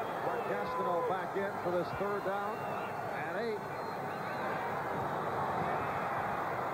And a first down catch by Carlos Carson. Johnny Lynn on the stop, a 16-yard pass play. Just a moment ago, Marty Lyons looking very shaky as he headed to the sideline. Look at his left hand there, his left forearm. Let's go back and take a look at Carson coming off the line of scrimmage. Carter forces him inside to Lynn, 29. Carson makes a nice break to the outside. Lynn comes up to make the tackle. Carson's first catch of the day. 85, the tight end, Jonathan Hayes now lining up on the right side. Carson in motion. And here's Green on a sweep. Hit down across the 30 by Kyle Clifton. Boyce Green, who last week returned a kickoff for 97 yards and a touchdown, has averaged about three and a half yards per carry. The Kansas City running game has not done it all season. Mike Pruitt led the team in rushing with only 448 yards on the ground, and he is out because of a sprained knee. He's on uh, injured reserve. The rushing game is 27th in the National Football League, so they're not surprising anybody by not being able to run here today. Marty Lyons is back. Second down and three. Play action. Blackledge eluding Baldwin. Running for the first down and has it. So Todd Blackledge doing it on the ground. And you have to be able to scramble, Mar, because there are going to be times when the coverage is downfield. One of the interesting differences today from the Jet defense last week as we take a look at, at uh, the coverage being there is that Bud Carson is not blitzing his linebackers and not committing his defense secondary to one-on-one -on -one coverage. They're playing a lot of zone. There's a lot of coverage downfield, and I think he feels as though just contain them and we can beat them.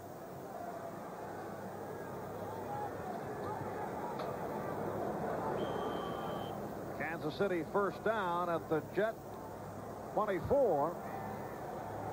Kansas City Chiefs did not pick up a first down in the second quarter. They're trailing 28 to 6. Eight and a half remaining. Third quarter.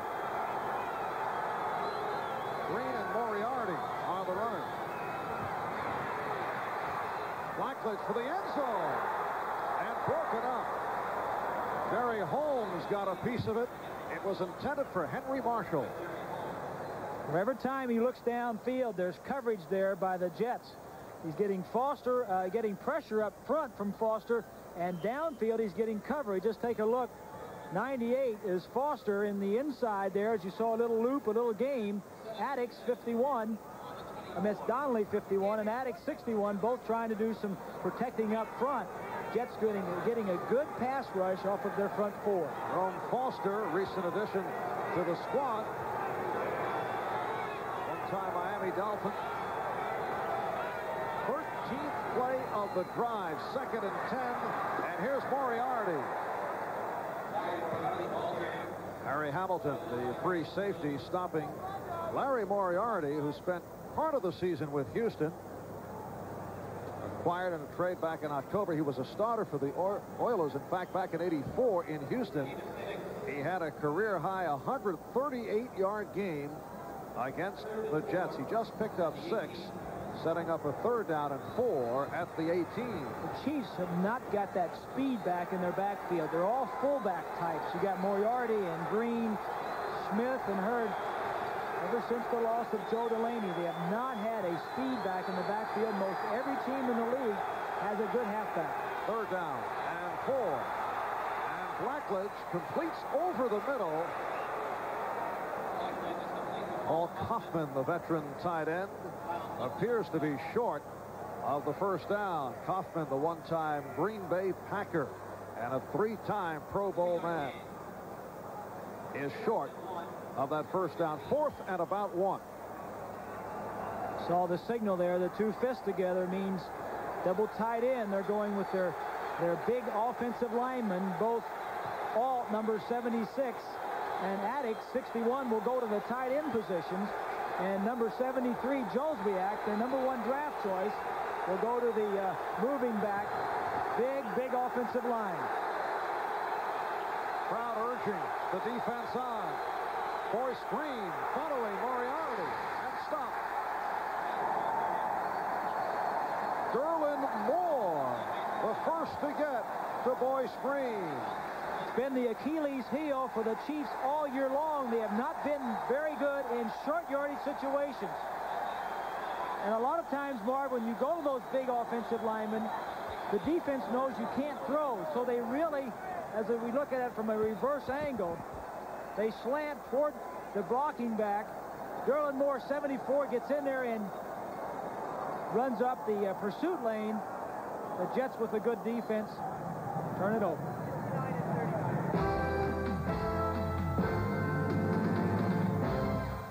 Gastineau, Marty Lyons, both instrumental in the excellent defensive play by the Jets today. A 15-play drive for naught for Kansas City. Jets take over. First time their offense has appeared on the field in the second half. Freeman McNeil muscling his way out to the 23-yard line. Strong safety Lloyd Burruss on the stop. It'll be a second down. Second and three upcoming. Not many times you have the ball 15 plays and you come away with nothing. At time the Chiefs going for it on fourth down and not being successful and you have to convert third and third and short, fourth and, fourth and short, especially when you're down by 22 points. McNeil has the first down led by the right tackle, Gordon King.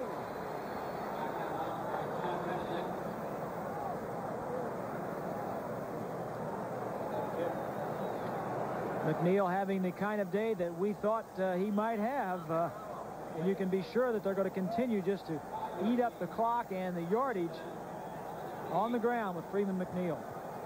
84 yards, 20 carries for McNeil. First down for the Jets from their 33 up front. Joe Fields, the center. Guy Bingham, Dan Alexander, the guards. Jim Sweeney and Gordon King are the tackles. 89 Klever in motion. Stopped by Kit Lathrop.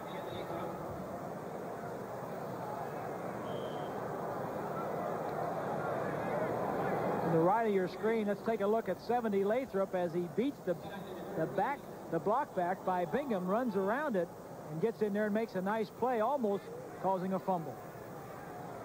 Lathrop in his third year out of Arizona State. He plays as the fourth down lineman usually in passing situations, caused a loss of three, second and 13 back at the 25. Toon could not hold on. That's the type of pass he usually comes up with. Kevin Ross on the cover. Well, that wasn't uh, Toon's fault. O'Brien, thinking that he was going to slide a little bit further to the inside, had the ball hanging inside. Now watch Toone as he goes down, lets the man to the top of your screen clear, and then goes to the inside. Now, Ryan thought he was going to be a little bit further into the center of the field. It's the problem you have, Ryan has, when you don't work with the team in practice a lot. Here's McNeil. And the Jets come up short of the first down. You're talking about uh, taking uh, the proper number of snaps. Of course, Ken O'Brien as the starter has been uh, the key guy during practice sessions. Up until this week, O'Brien has taken all the snaps in practice, and Ryan just works with the scout team, never gets to work with their own offense. I disagree with that because as we look at O'Brien and Ryan getting together, Ryan must have a headache or something. I don't know. but I disagree with that. I think I think what you have to do is you're one play away from going to your backup, and I think he needs to get some work in practice with your offense. Dave Jennings in punt formation. Back at the 17, and he's punting to Jeff Smith. That's the closest the Chiefs have come. Good roll. Here's Smith. Jennings said the other day, as he got off a 45-yard punt, he didn't expect that Kansas City would come up big on special teams because usually clubs will do well after uh, a club like Kansas City has done well. That was rudely interrupted by a commercial message as we went into the break. Uh, the Kansas City special team came in with a very impressive record, but uh, they have not done it uh, thus far today. Their offense had, didn't have done much coming in. Their defense had set them up, and their special teams, and no turnovers for their defense, and no big plays for the special teams. First down from the 30 for Blackledge from Kansas City. Blackledge hit hard. Pass intended for Page. Barry Bennett with the hard hit of the quarterback, Todd Blackledge. Jets getting some good pressure from their front three in, in uh, non-passing situations. Of course, Crable occupying a couple of men, Lutz 72, allows Bennett one-on-one. -on -one. And Blackledge, that's not the one-on-one -on -one he'd like to have. Bennett weighs outweighs him probably 60, 70 pounds. Jets have come up with two sacks and four pressures. And we're told they're still working on the shoulder of Marty Lyons, who did check back in after he was shaken up. Second down and 10. That's Carson, 88 in motion. Back to the ground for Green. Green out to the 33. Picked up three on the play. It'll be a third down and seven. You have four minutes left to play, and the Chiefs are down by 22 points, Marver. It's going to be a point in time pretty soon here where you're not going to be able to fool around with running plays. They're not working for him, and you're going to have to go to the pass exclusively. Marshall to the right, Carson left. 3.40 to go in this third quarter.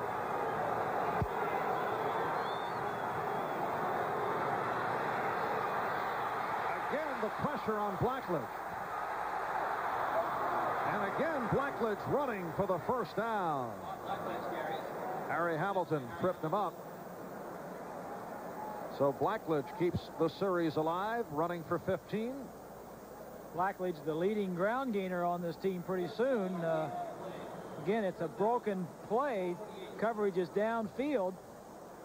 Foster taking the outside charge, gets a hand on him.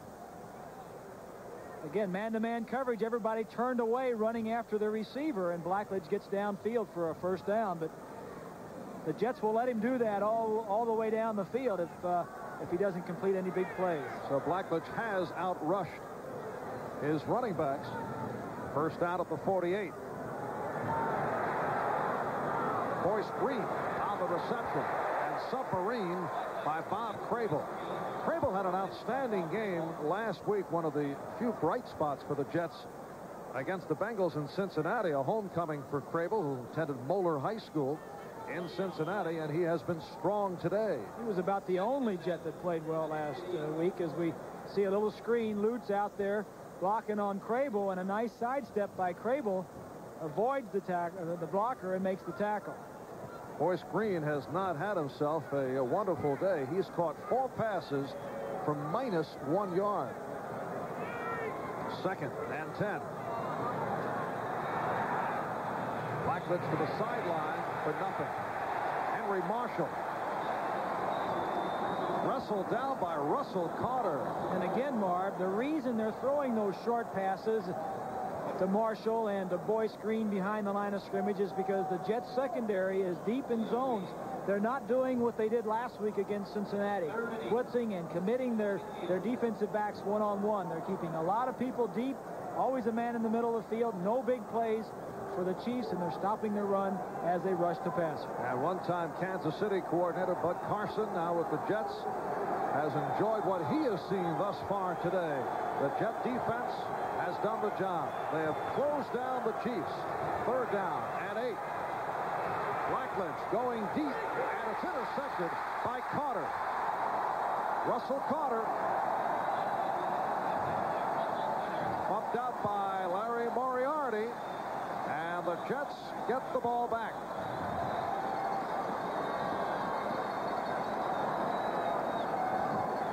A minute six to go. Third quarter. We'll be right back.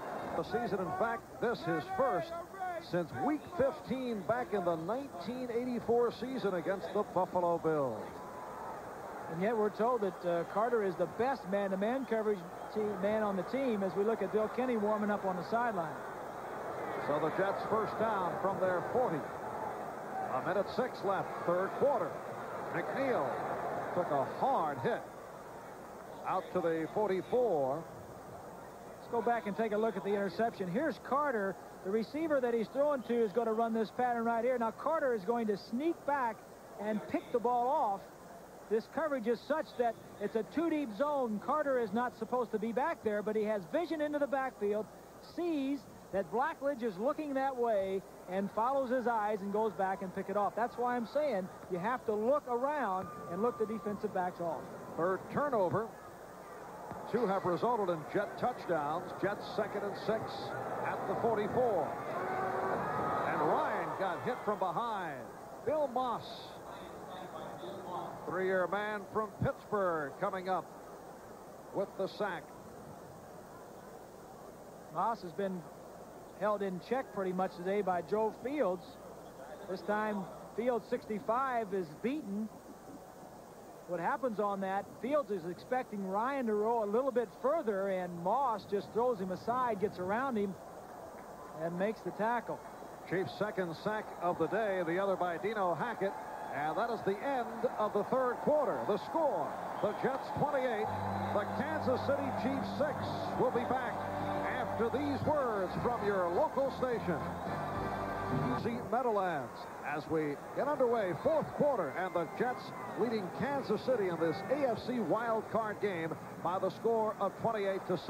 Third down and 13. Catch by McNeil, but short of the first down. Kevin Ross on the coverage coming up following the Jets in Kansas City on NFL 86. We will visit both the Jets and Kansas City locker rooms, and we'll also hear reaction from the Cleveland Browns, who are waiting in the wings. The winner today will play at Cleveland next Saturday. We'll also be previewing the NFC wild card game. Fourth down, and Dave Jennings will punt from his 29-yard line. His fourth punt of the day Jeff Smith is. And it is blocked. So the Chiefs get one. Albert Lewis. And it's a touchdown. Albert Lewis, who explodes, blocking the Jennings punt, which is a rarity. Albert Lewis, who blocked the punt against Pittsburgh last week, that was recovered in the end zone for a touchdown, this is fourth block punt of the season. Four block punts and one tackled punter, which is in, in effect five times he's got there before the punter kicked the football. The special teams, again, bringing the Chiefs back, giving them some life, putting them back in this ball game, Marv. And that was a solid block by Albert Lewis. Nick Lowery, who missed his earlier extra point attempt, putting it through. And the Chiefs now trail by the score, 28 to 13. Students are always going places. Now there's a powerful computer that can go with them, the IBM PC Convertible. It goes from chemistry to economics, from ancient civilization to modern civilization. The IBM PC Convertible is a smart gift because students can carry an IBM computer anywhere, even into the future.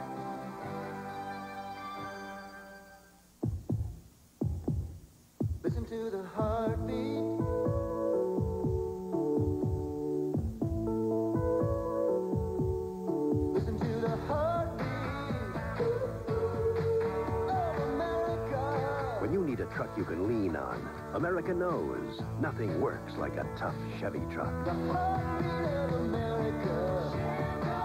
That's today's Chevy truck.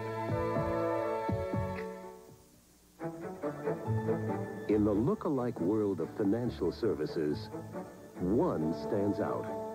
It's one of America's strongest diversified financial experts. A fortress of insurance protection for group medical care and employee benefits. A master architect of financial growth in pensions, mutual funds, and real estate investments. It's the Travelers. Have you looked under the Travelers umbrella lately?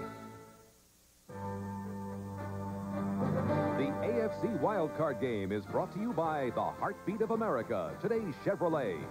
By Budweiser, Beechwood aged for that clean, crisp taste. This Bud's for you. And by IBM. Kansas City Chiefs with their first point scored since the opening drive of the game. So special teams coach Crash Gansz strikes in the person of Albert Lewis, popular guy. Crash Gansz, who was special teams coach here and then went on to Philadelphia, and then here Love he is him. back with the Chiefs. They love him. When the uh, special teams meet, a lot of the players that aren't normally on special teams will go in anyway. They say, hey, Gansz is on. Let's go ahead and hear him. He's a great motivational uh, uh, speaker and uh, does a great job motivating his players. And uh, here's Lowery with a little pop taken by Page.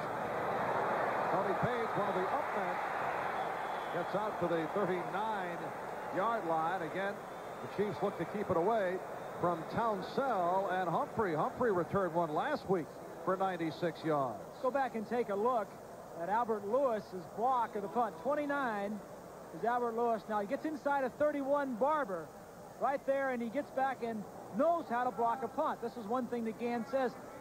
A lot of guys don't know how to block punts when they get there. We show them how to block punts. Certainly Lewis knows how to do it. On the kickoff, offside. Called on Kansas City. It's declined. Jets take over at the 39. First punt that Dave Jennings has had blocked as a member of the Jets back in 84 with the Giants. A year that he'd like to forget about. He had three blocked punts. First down from the 39. And again, McNeil. We're just underway in this fourth quarter.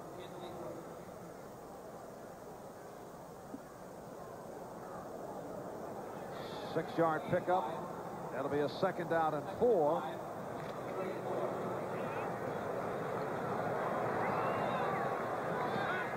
McNeil, the lone deep back. Shuler in motion. McNeil. Short pickup. Well, the Kansas City Chiefs opened the season against the Cincinnati Bengals. Perhaps uh, this a preview for the future as uh, the Chiefs' first touchdown of the season, only a minute and 42 into the game, uh, came on that block punt of Mark Robinson. Deron Cherry able to recover it in the end zone for the score, and the Chiefs went on to win it 24 of 14. The special teams has had a magnificent season. Six block punts coming into today, three block field goals, a block conversion, and five touchdowns in all. Third down and two. And Ryan puts it up. Al Toon. But the first ball is in a fumble. McNeil recovered. You can see as the Chiefs are trying to tackle the Jet players, they're going for the ball. The first man there didn't get it, but the second man knocked it free. Let's take a look at it from the uh, opposite side of the field. Burruss is there and knocks it free right there. Number 34, Lloyd Burruss. But McNeil for the Jets is there to recover it. The thing that that special teams touchdown has done for the Chiefs, Marv, is given some life back to this football team. They're back in this game, and that missed extra point looms larger right now. McNeil off the left side. And a very short pickup. Art Still on the stop. Art Still four times to the Pro Bowl and was a second alternate this season. Led the Chiefs with 10 and a half sacks. Second down and nine. At the Kansas City 48, 12.45 to go. Fourth quarter, the Jets 28 and the Chiefs 13. McNeil has run for 101 yards on 26 carries. And Ryan for Walker. He underthrew, but Walker came up with it. What a play by Wesley Walker. He had a cut back in front of Lloyd Burruss. A 38-yard pass play. Give credit, Marv, to Walton for calling the play because the Chiefs are in a similar type of defense to what the Bears would play last year. It's called a, a Bear defense. They're, they're stacked against the run. They're not playing the pass. The ball was underthrown, and Walker comes back and makes a big play for the Jets. But they were stacked against the run to stop the uh, Jet running game. Ron Cherry thought he was about to intercept. But instead, Walker came back for a second catch of the day. Well, Cherry didn't go up and catch the ball at its highest point. One of the things that a defensive back is caught very early. First and goal for McNeil. McNeil running hard to the seven. Cofield, the outside linebacker, and Paul make the stop.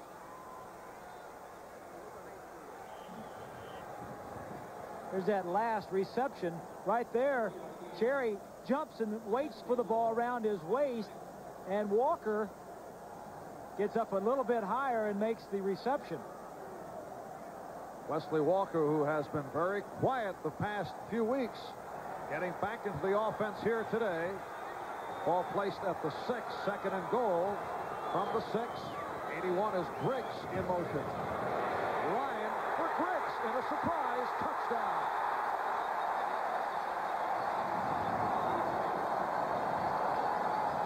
Billy Griggs, who did not catch a pass during the regular season. A second-year player from Virginia was wide open, and Ryan found him. Joe Walton pulling out all the plays in his bag of tricks. Very similar to early in the season when everything he called went the right way.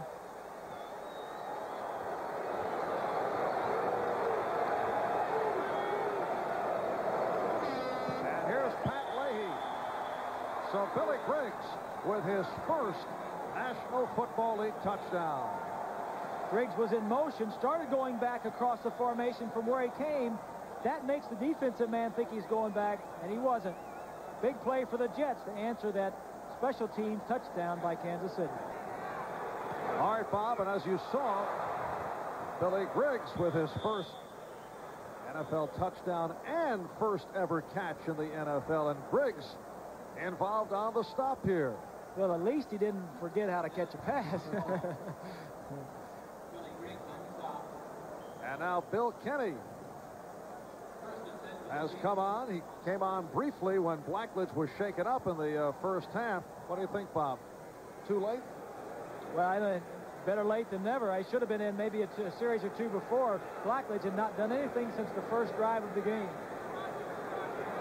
Kansas City, first down from the 40. And Kenney swings it for Green. Boyce Green picked up eight on the play. Crable stopped him. Todd Blackledge, 12 for 21, only 80 yards, and intercepted twice. The interception by the linebacker, Kevin McArthur, really hurt to open up the second half. It certainly did, and Blackledge uh, Had an up and down year. It seems as though his confidence is, is not what it should be. And uh, obviously Mackovic uh, would rather have started with, with Kenney and played him the full way. He's more experienced. He throws the better ball better to Carson, uh, his favorite target. Carson coming back for this game, but he's in there now, and he's got an uphill battle. Injury on the field. Mark Adickes, the right guard, being helped off. Pat Ryan has had an excellent day, 16 for 23. And not big numbers, though, for Ryan. Uh, again, uh, Freeman McNeil set up or set the table for Ryan to come on and do a good job. Three touchdowns, of course, is, is the production part of it. The 154 yards is not a lot of yardage for, by today's standards in passing, but he gets the job done, ran the offense well, and did the things that he needed to do. Pat Ryan, that equals a career high, throwing three touchdowns in a game.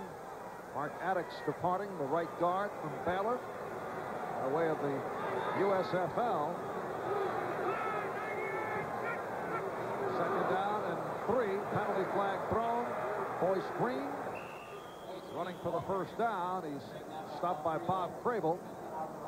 But a marker down. Looks to be an ankle injury suffered by Adickes. Uh, check that by uh, Green.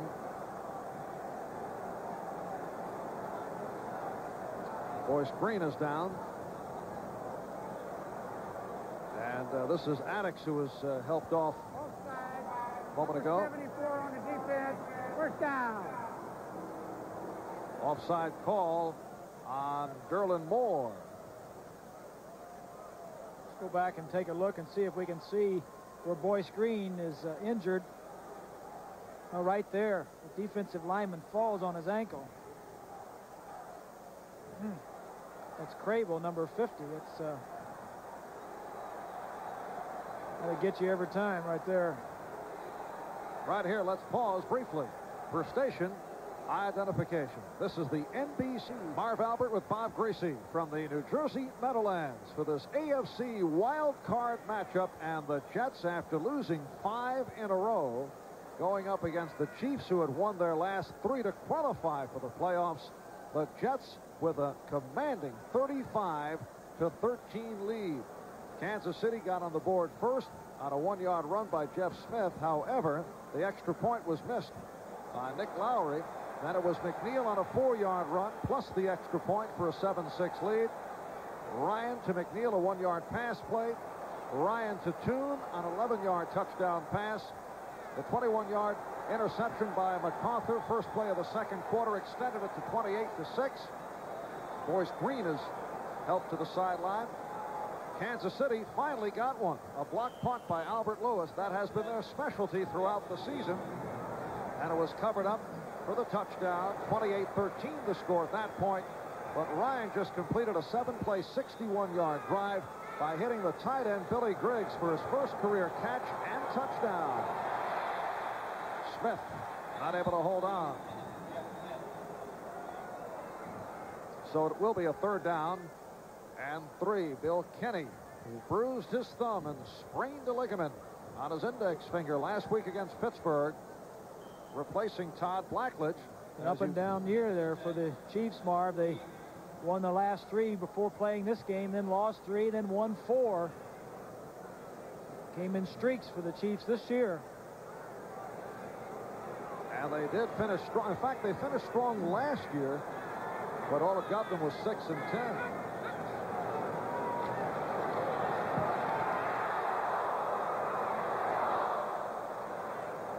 Carter on the coverage. Pass intended for Emil Harry.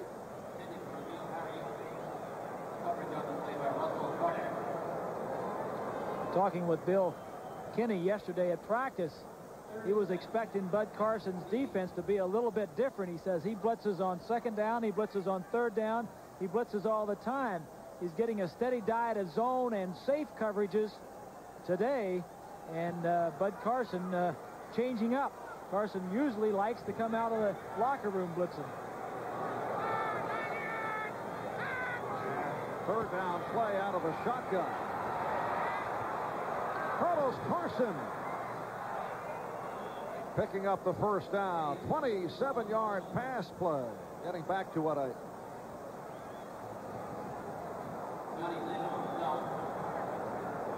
Carson is the big receiver for the Chiefs, was out the last four or five games with a bad foot. Gets around Carter. Kenney with a good anticipation lays the ball to the inside and allows Carson to run into it. Getting back to what I was saying a moment ago, actually the Chiefs last year finished 6 and 10 after winning three of their first four. But this season able to win on their final three. Kenney throwing end zone intended for Carson. Carter on the coverage. You can see the last three passes that have been thrown by Kenney have been directed at Carlos Carson, who is his favorite receiver.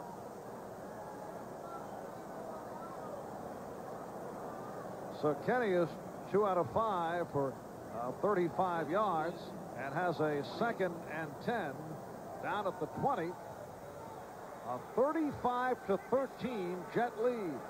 The Chiefs have got to score, Marv, and score quickly and do some magic with their special teams because there's not a lot of time left in this ball game. Just under nine minutes left.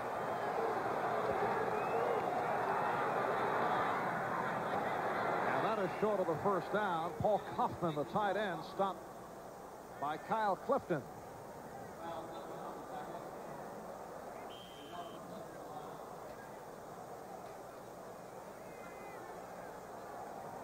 It'll be a third and three. The ball spotted at the 14.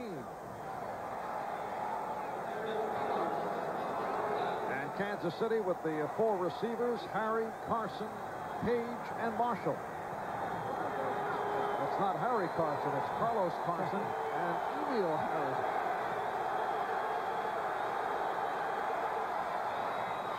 Incomplete, intended for Paige. Bill Kenney in his eighth year out of Northern Colorado looking back at the bench. Just throws this ball before Paige is ready for it. As you see, Paige is looking around to see what the coverage is. Throws it behind him. Somebody's undressing him. Kyle Clifton looking for a uh, Kansas City sock. It's a fourth down and three. Marshall to the right. Carson left. And Harry in the slot left. Timeout called by Bill Kenney. 8.02 left. Fourth quarter. We'll be right back. And get uh, Coach Don Shula's thoughts about this game today. Coach? I thought it was real important after Kansas City blocked the punt for the touchdown that the Jets came back with a series and moved it right back and scored to keep that margin there. That was very important for them. Otherwise, Kansas City might have gotten back into it. What do you think about Ryan? Done a pretty good job? No question about it. He's made some key plays for him, and uh, he's gotten the job done. He's, it was a steady job for him all day long. Now, let me say, you said that uh, you would have gone with Ryan, right? I mean, O'Brien. O'Brien, no question about it. Okay. You know, they got Cleveland next week. Thank you, Coach. And a vintage photo, a bespectacled Bob Griese and a very youthful-looking Don Shula. It's a fourth and three as we resume Kansas City at the Jet. 14, eight minutes left, fourth quarter. And he swings to Smith. Smith gets inside the 15-yard line. It's a nice effort for the first down, Marv. A little swing pass. You just say, here, Jeff Smith, I'm going to give you the ball. You break a tackle and get up and make the first down. Gastineau 99 coming from a stand-up position. Eatman cuts him, which allows a nice lane to get the ball out to Smith. Makes a good move and a big first down on fourth and three. So it is a first and goal Good tackle on Paul Coffman by Bob Crable.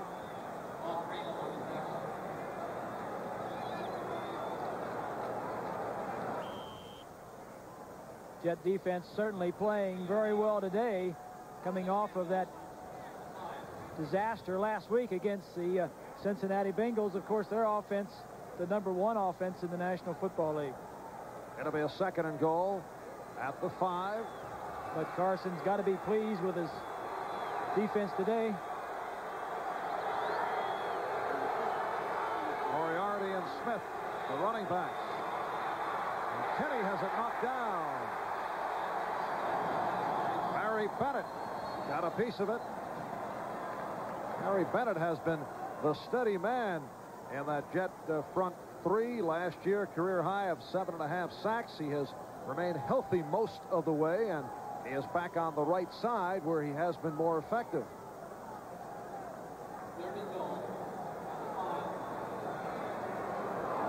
Look to the right. 78 is Bennett as he gets his left arm up.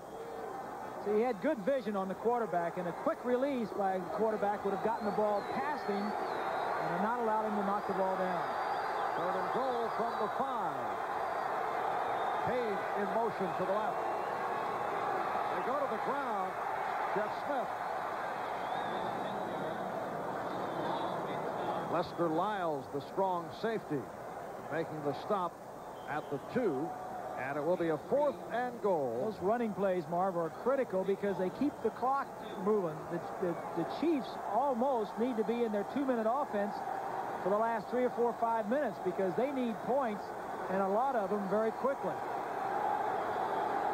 12th play of this drive. They, they can't stand 12-play drives. They need quick ones. And Kenney throws broken up by Lyles intended for Henry Marshall. Lester Lyles, who goes 6'3", was able to get a piece of it to keep it away from Marshall.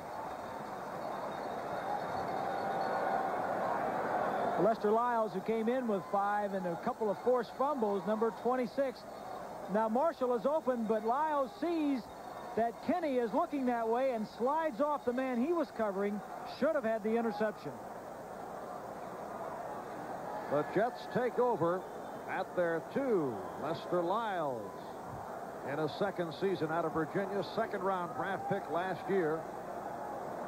Made the good play, 6.01 remaining in this fourth quarter.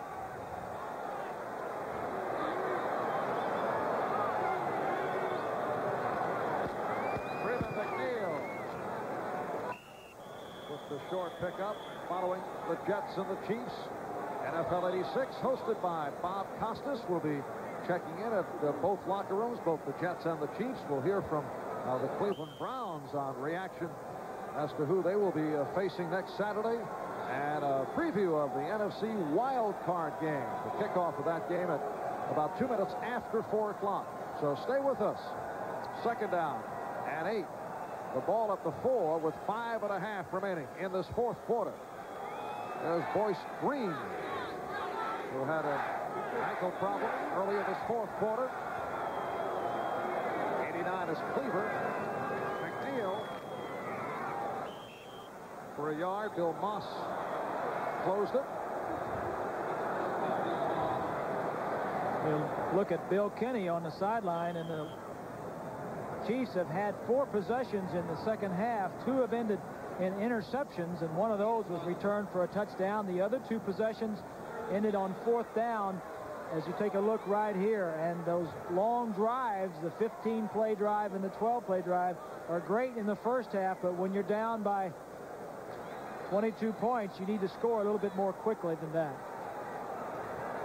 And Joe Walton has to be pleased with what has oh. taken place here today. Pat Ryan on the keeper. Joe Walton says that the struggling Ken O'Brien is the Jet quarterback of the future, but he is not the quarterback today. Over the first 11 games, O'Brien threw 23 touchdowns, was intercepted only eight times. See the Jets uh, fall short of the first down. Over the past five losses, O'Brien had thrown only two touchdowns and been intercepted 12 times. Well, you take a look at what he has done the last five games, and Marv, when you get in a rut, sometimes the best thing you can do is to be sat down. Now, the quarterback is not going to ask the coach, set me down. The coach has to make that decision, and it's a tough one when it's a quarterback, but there's no question that the, the fresh breath of air that Ryan has brought has been positive for this team. All right, Dave Jennings had his last punt block, and the previous one was almost blocked. And now punting from his end zone. And letting that clock run down.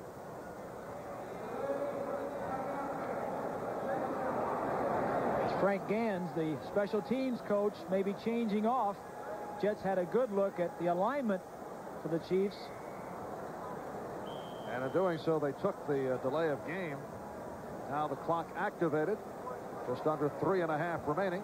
Gansz was a popular addition to the squad. He was to the team. He was in Kansas City with Marv Levy and then uh, went to Philadelphia. And as soon as the Philadelphia staff was fired, uh, Nick Lowery was on his way to the stadium to try and convince John Mackovic to hire him, and he ran into uh, Deron Cherry coming out, and he was jumping up and down. He said, did you hear, did you hear, we got Gansz. So everybody was a couple of steps ahead of Nick Lowery. And Gansz receiving a standing ovation on the flight back from Pittsburgh. Last week, the special teams uh, sparking that victory over the Steelers, despite only 171 yards total offense.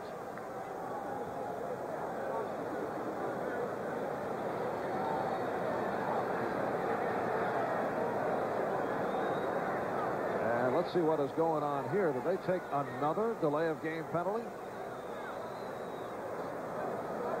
They may be getting it close enough where they can get back and just take a safety and get a free kick.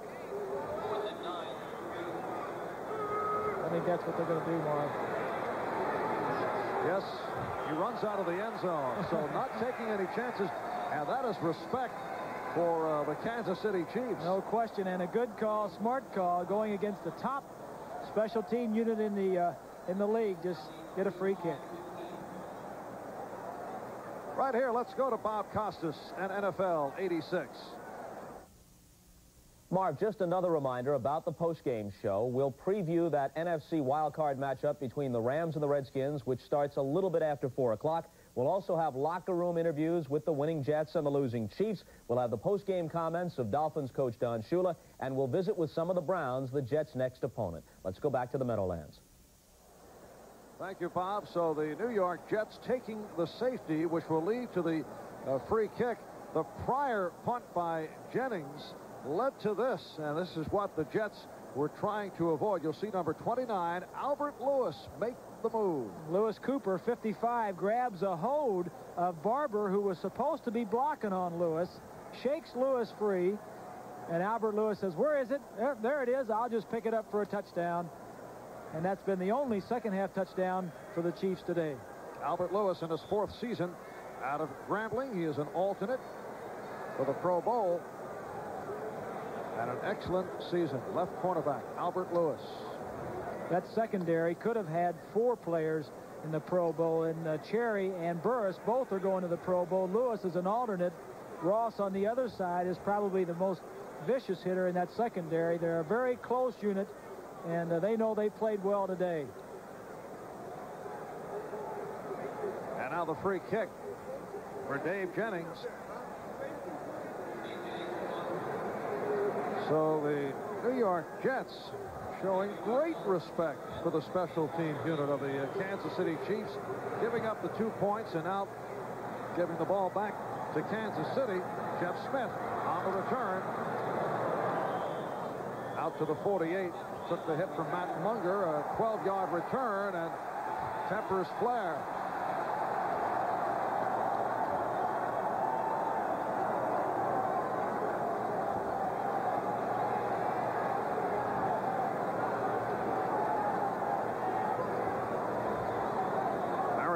Uh, the Jet player involved and ushered aside with 2 minutes and 52 seconds remaining in this uh, fourth quarter.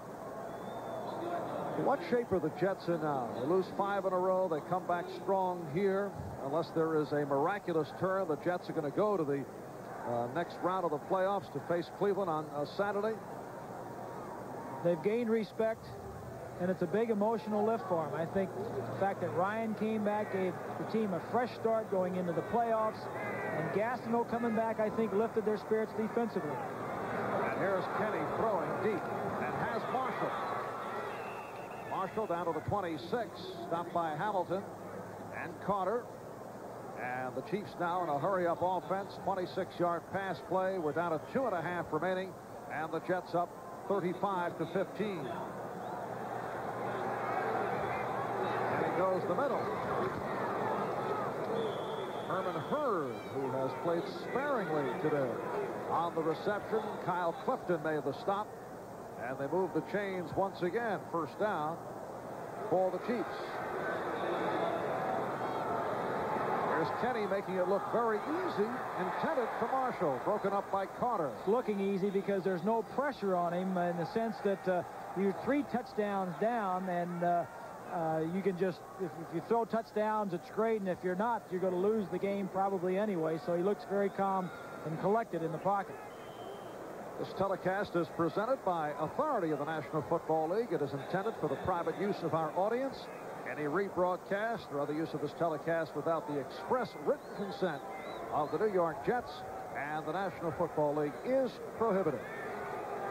Kenney is now 7 for 14, 91 yards. Second and 10 from the 11. This is Heard.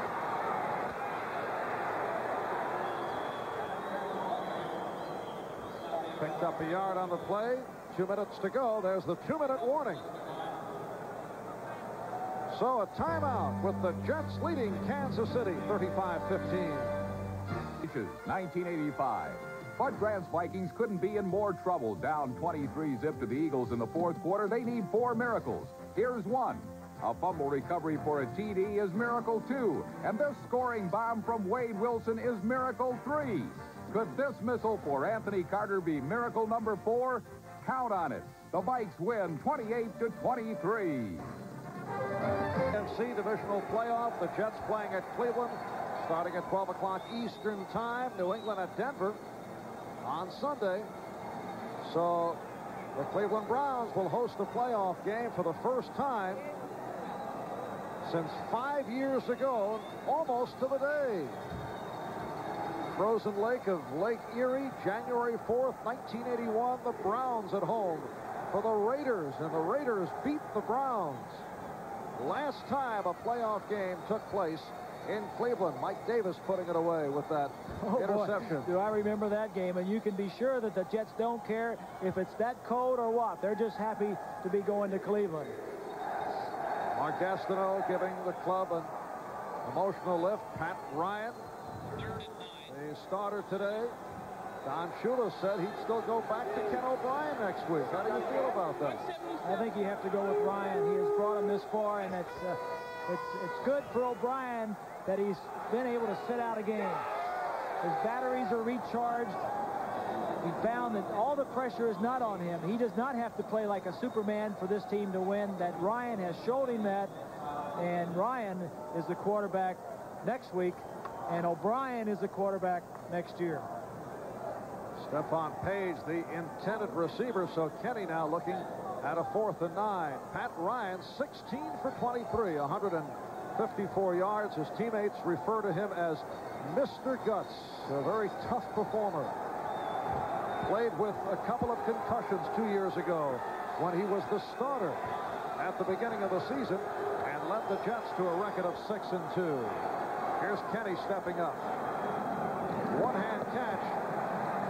But it's uh, down at the four as Clifton and Crable combine. And that is it for the Kansas City drive as Jeff Smith was stopped. So Smith stopped short of the first down, and this crowd responding to the Jet defensive effort. It's certainly something the fans in Giant Stadium are happy to see the Jets coming back winning a game. I don't think anybody is kidding themselves and thinking that the Jets are all the way back to where they were after the first 11 games, but certainly it's a confidence builder. It's uh, something they can gain respect from, and they can go into Cleveland and say, hey, are we this good? And certainly when you look at Toon and Walker and McNeil, their offense is very explosive. And their defense, uh, Bud Carson getting the high five. Big, a big battle going on between Bud Carson's defense because they wanted to win this one for Bud Carson because he had been fired from the Kansas City uh, job by John Mackovic a couple of years ago. Jets from their four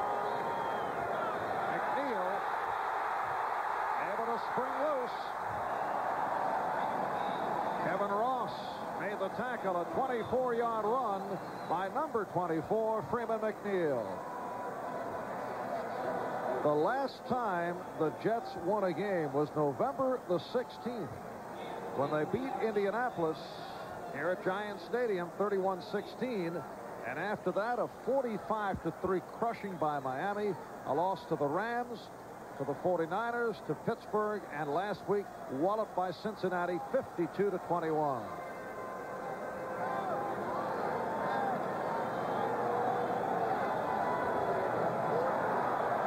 Will represent the first home playoff victory for the Jets since December of 68 when they beat the Raiders at Shea Stadium.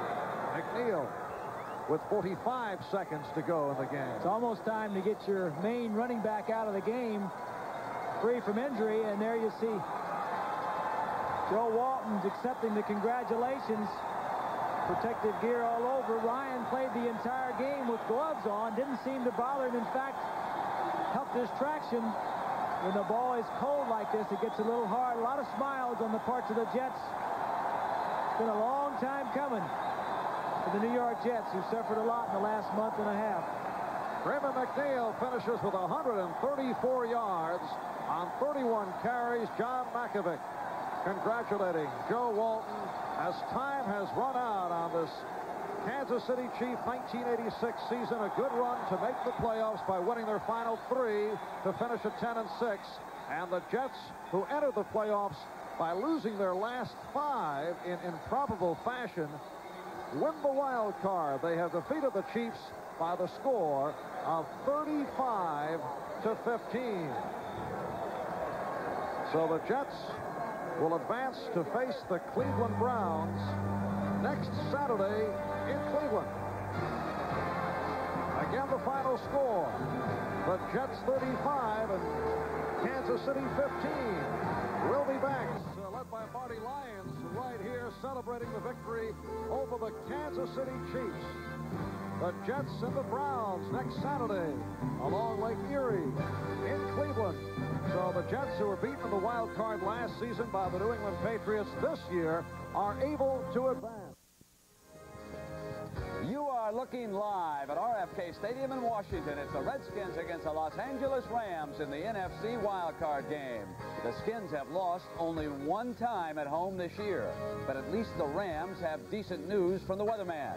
Clear sky, temperatures in the 40s. That should give Eric Dickerson, who was the league's leading rusher, the kind of field that he needs to turn it on. And a key man in the Skins' big play offense, wide receiver Gary Clark, is nursing a sprained ankle. He's expected to see only limited action. Another key factor in this matchup will be the performance under pressure of the two starting quarterbacks. For both Jay Schroeder and Jim Everett, this is their first playoff game. CBS coverage of the road to Pasadena and Super Bowl 21 begins this afternoon on the NFL Today.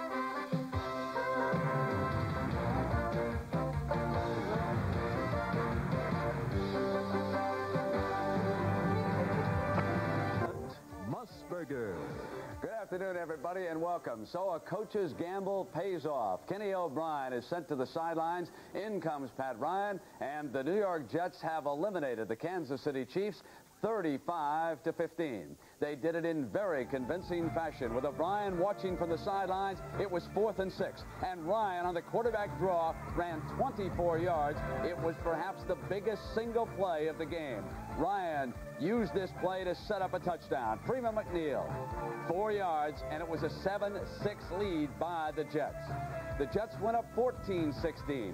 Ryan, his first of three touchdown passes. This one to McNeil. Then with time running out in the second quarter, Ryan hit Al Over the middle for an 11-yard score and a 21-6 lead. Then it was the first play of the third quarter. Todd Blackledge's pass is picked off by Kevin McArthur, who runs it back 21 yards for a touchdown, and the Jets were never headed. Next Saturday, the New York Jets will be on the road.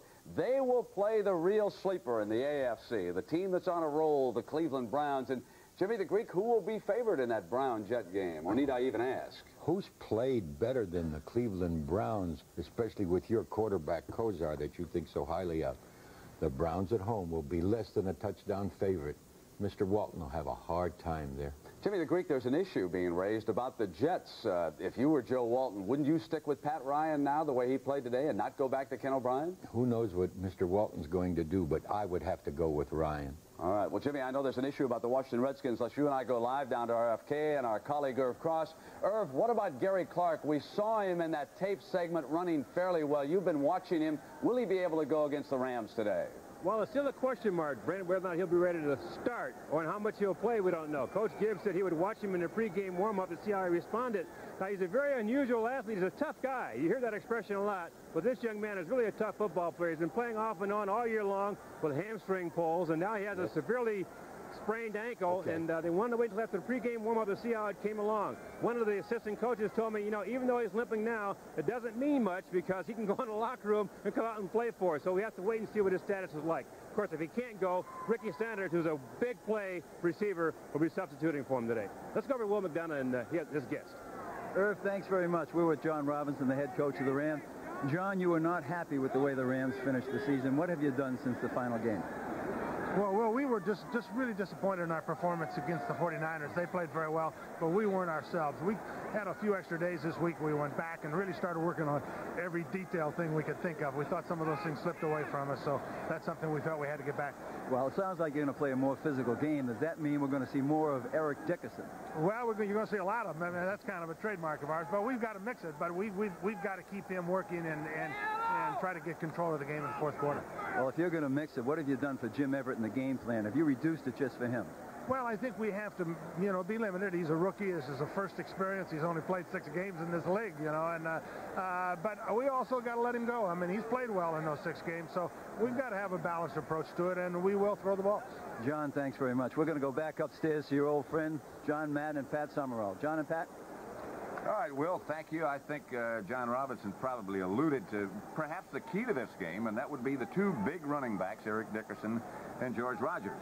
And if they can keep those two involved in the game, I think it probably controls the whole complex. I think that's going to be the big thing, you know, because they you know, know that they want to do that. John was just talking about balance, but by balance, he means Eric Dickerson running a lot, at least 30 times, and then being able to throw the ball a little. Now, we know the Redskins, they want to do the same thing with George Rogers, and I always felt the way to get these great running backs out of the game is just get ahead of them. Make them have to pass. Now, that's what both teams are going to want to try to do. I think the first quarter is going to be very important in this game. I think getting off to a good start, getting ahead, because neither one of these teams is good at playing uphill.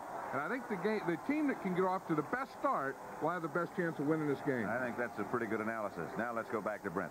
Whether I was necessarily an emotional lift, I think it was just, uh, you know, first really total team effort we've had in four or five weeks. You know, the offensive line played well, the defense played well, and when that's happening, you know, you get Freeman going, it, it makes it easy for me. That's what I was going to say. Your ace in the hole seemed to be all day is Freeman McNeil, who just ran like a demon.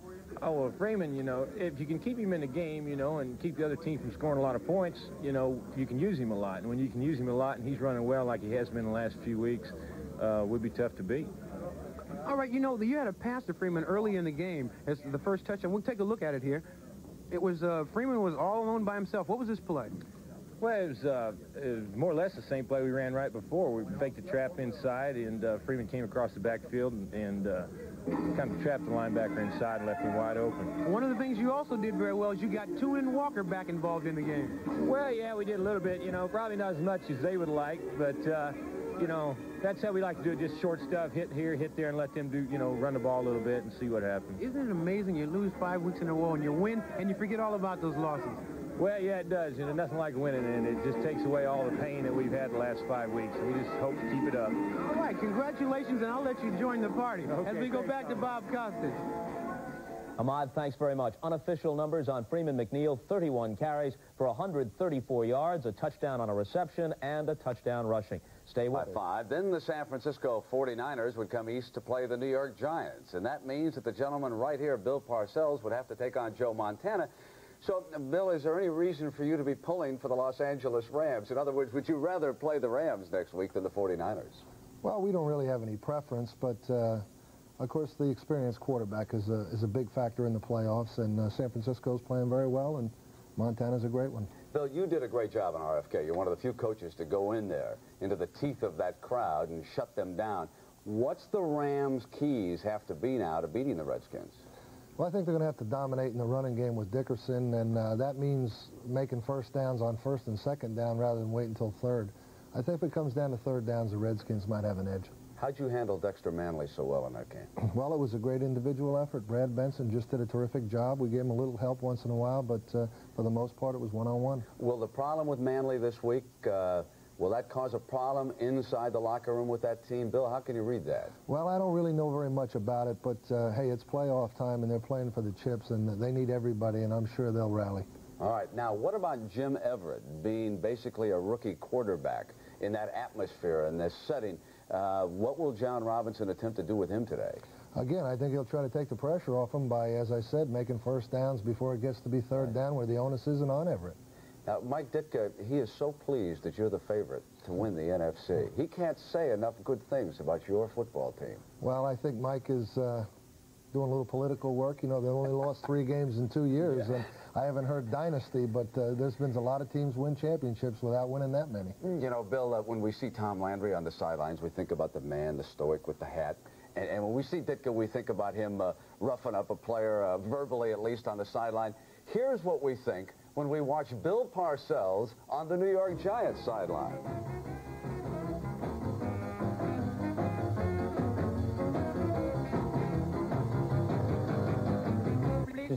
I was taking a bath. Long about a Saturday night. Yeah. Rubbed up, just relaxing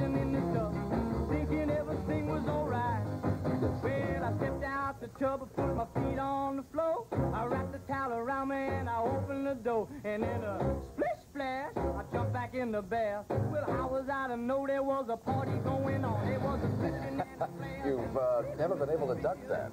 No, but I'm going to get him one day, Brent. yeah, you should sneak up behind him. Uh, no, I'm going to get him when he least expects it. All right. Make a uh, pick for me. Redskins? I think the Redskins. Boy, he said it reluctantly, didn't he, folks? We'll continue with the NFL today here on CBS in just a moment. At RFK Stadium, the site of the last meeting between the Rams and the Redskins. That was a 1983 playoff game. Washington trounced the Rams that day, 51 to 7. But since then, there have been plenty of changes on both teams. And more on that now from Irv Cross. Irv? Britt, the starting quarterbacks in the 1983 game were two seasoned veterans who had led their teams to the Super Bowl. Vince Ferragamo for the Rams and Joe Theismann for Washington. But today, the Rams are going with a rookie quarterback who did not make his first start until the 12th game of the regular season. As for the Redskins, they also have a relatively new leader at that position. Be it government or football, transitions of power always seem to go off without a hitch in Washington. So when Joe Theismann went down with a broken leg, Jay Schroeder was able to step in smoothly. But it wasn't until this season that Schroeder felt he was really the commander-in-chief. After last year, I had a chance to get my feet wet, play a little bit, and get a little chance to figure out what the game's all about. Coming into this year, I knew it was going to be my show and just go at it that way. Although this is Jay's first full season at the helm, getting to start five games last year helped him to succeed. I don't think anybody could have predicted that a first-year quarterback in the league would come in and, and do that well. I mean, it just that's something that you just kind of dream about. Now I feel a lot more confident. I've played for a year. I know what I can do, and now it's time to build on that and get better and better.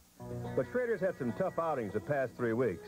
Nevertheless, in a town that always seems quick to proclaim a crisis of confidence, the Redskins are solidly behind their young quarterback.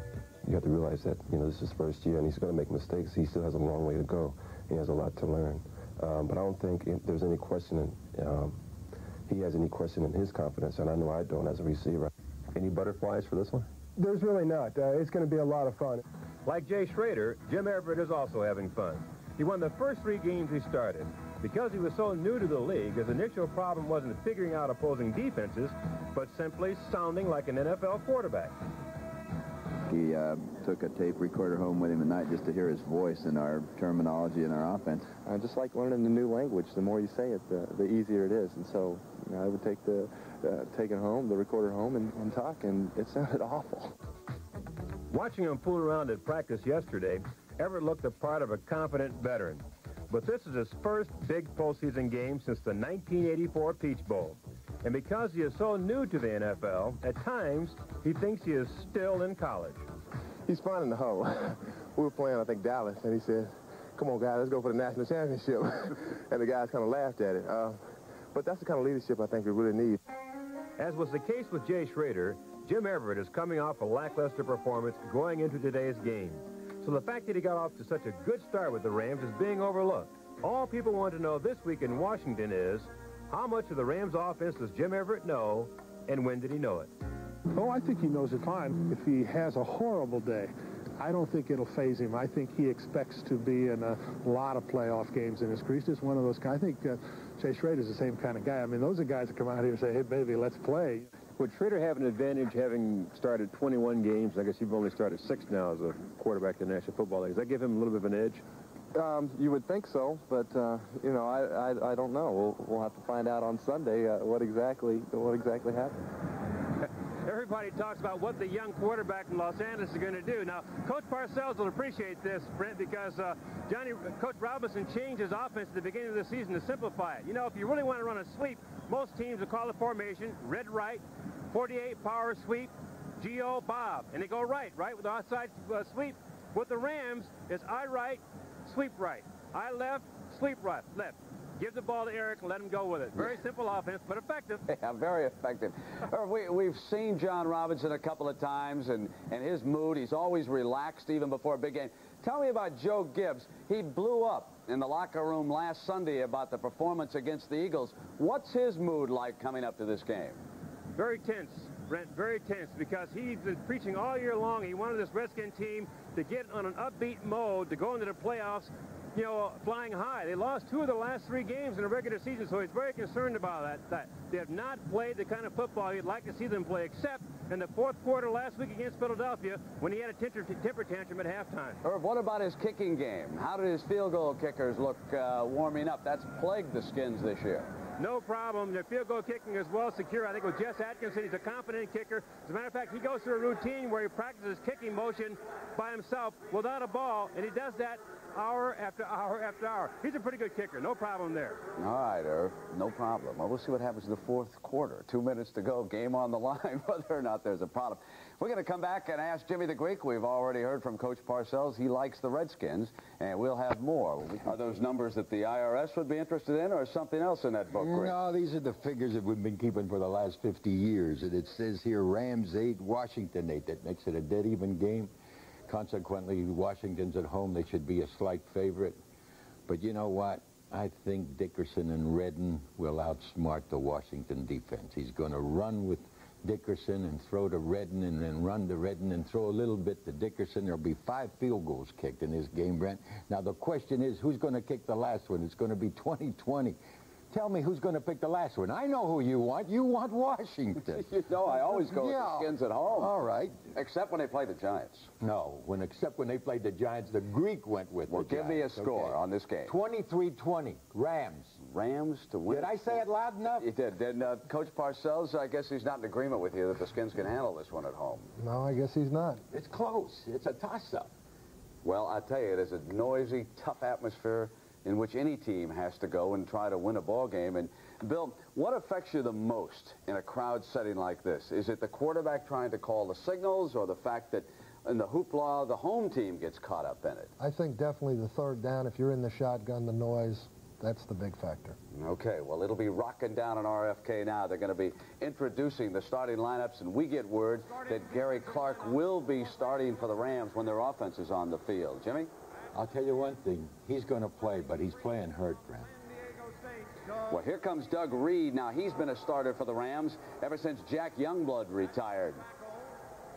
Next to him, it'll be Sean Miller on the nose. What about the defensive unit of the Rams, Bill? We haven't spoken about them as a group yet. Very steady, no gambling, good hustle and tough defense. Any weaknesses that you're aware of with this group? No, I don't think so. I think they got. You wouldn't tell me anyway, would you? No, I sure wouldn't. we might have to face them again. At left inside linebacker, number 59 from Washington, Mark Jerue. Jimmy, I can remember the last time a road team, other than the Giants this year, won a playoff game down there, it was the Chicago Bears. They went in there, won the divisional round, then went out and were beaten by San Francisco two years ago for the title. So it is possible to go in here and win a game. It is certainly not impossible. The 49ers beat them, but they didn't get the score, if you remember that game. There was a little controversy about the uh, pass interference in that game. Number 25 from Texas. You know, the Rams are 4 and 4 on the road, you know. But this is a late game, so it puts it into the Los Angeles time. From Kansas, Leroy Irvin. At free safety, number 22 from Washington, Vince Newsome. And at strong There's a player who's been around a long time, been a great safety for the Rams, Nolan Cromwell. Was a college quarterback. Now we'll get ready for RFK to start rocking. And they're going to introduce the defense, and won't it be interesting to hear how the crowd reacts when Dexter Manley is introduced? left end, number 71 from Nevada, Reno, Charles Mann. At left tackle, number 65 from Purdue,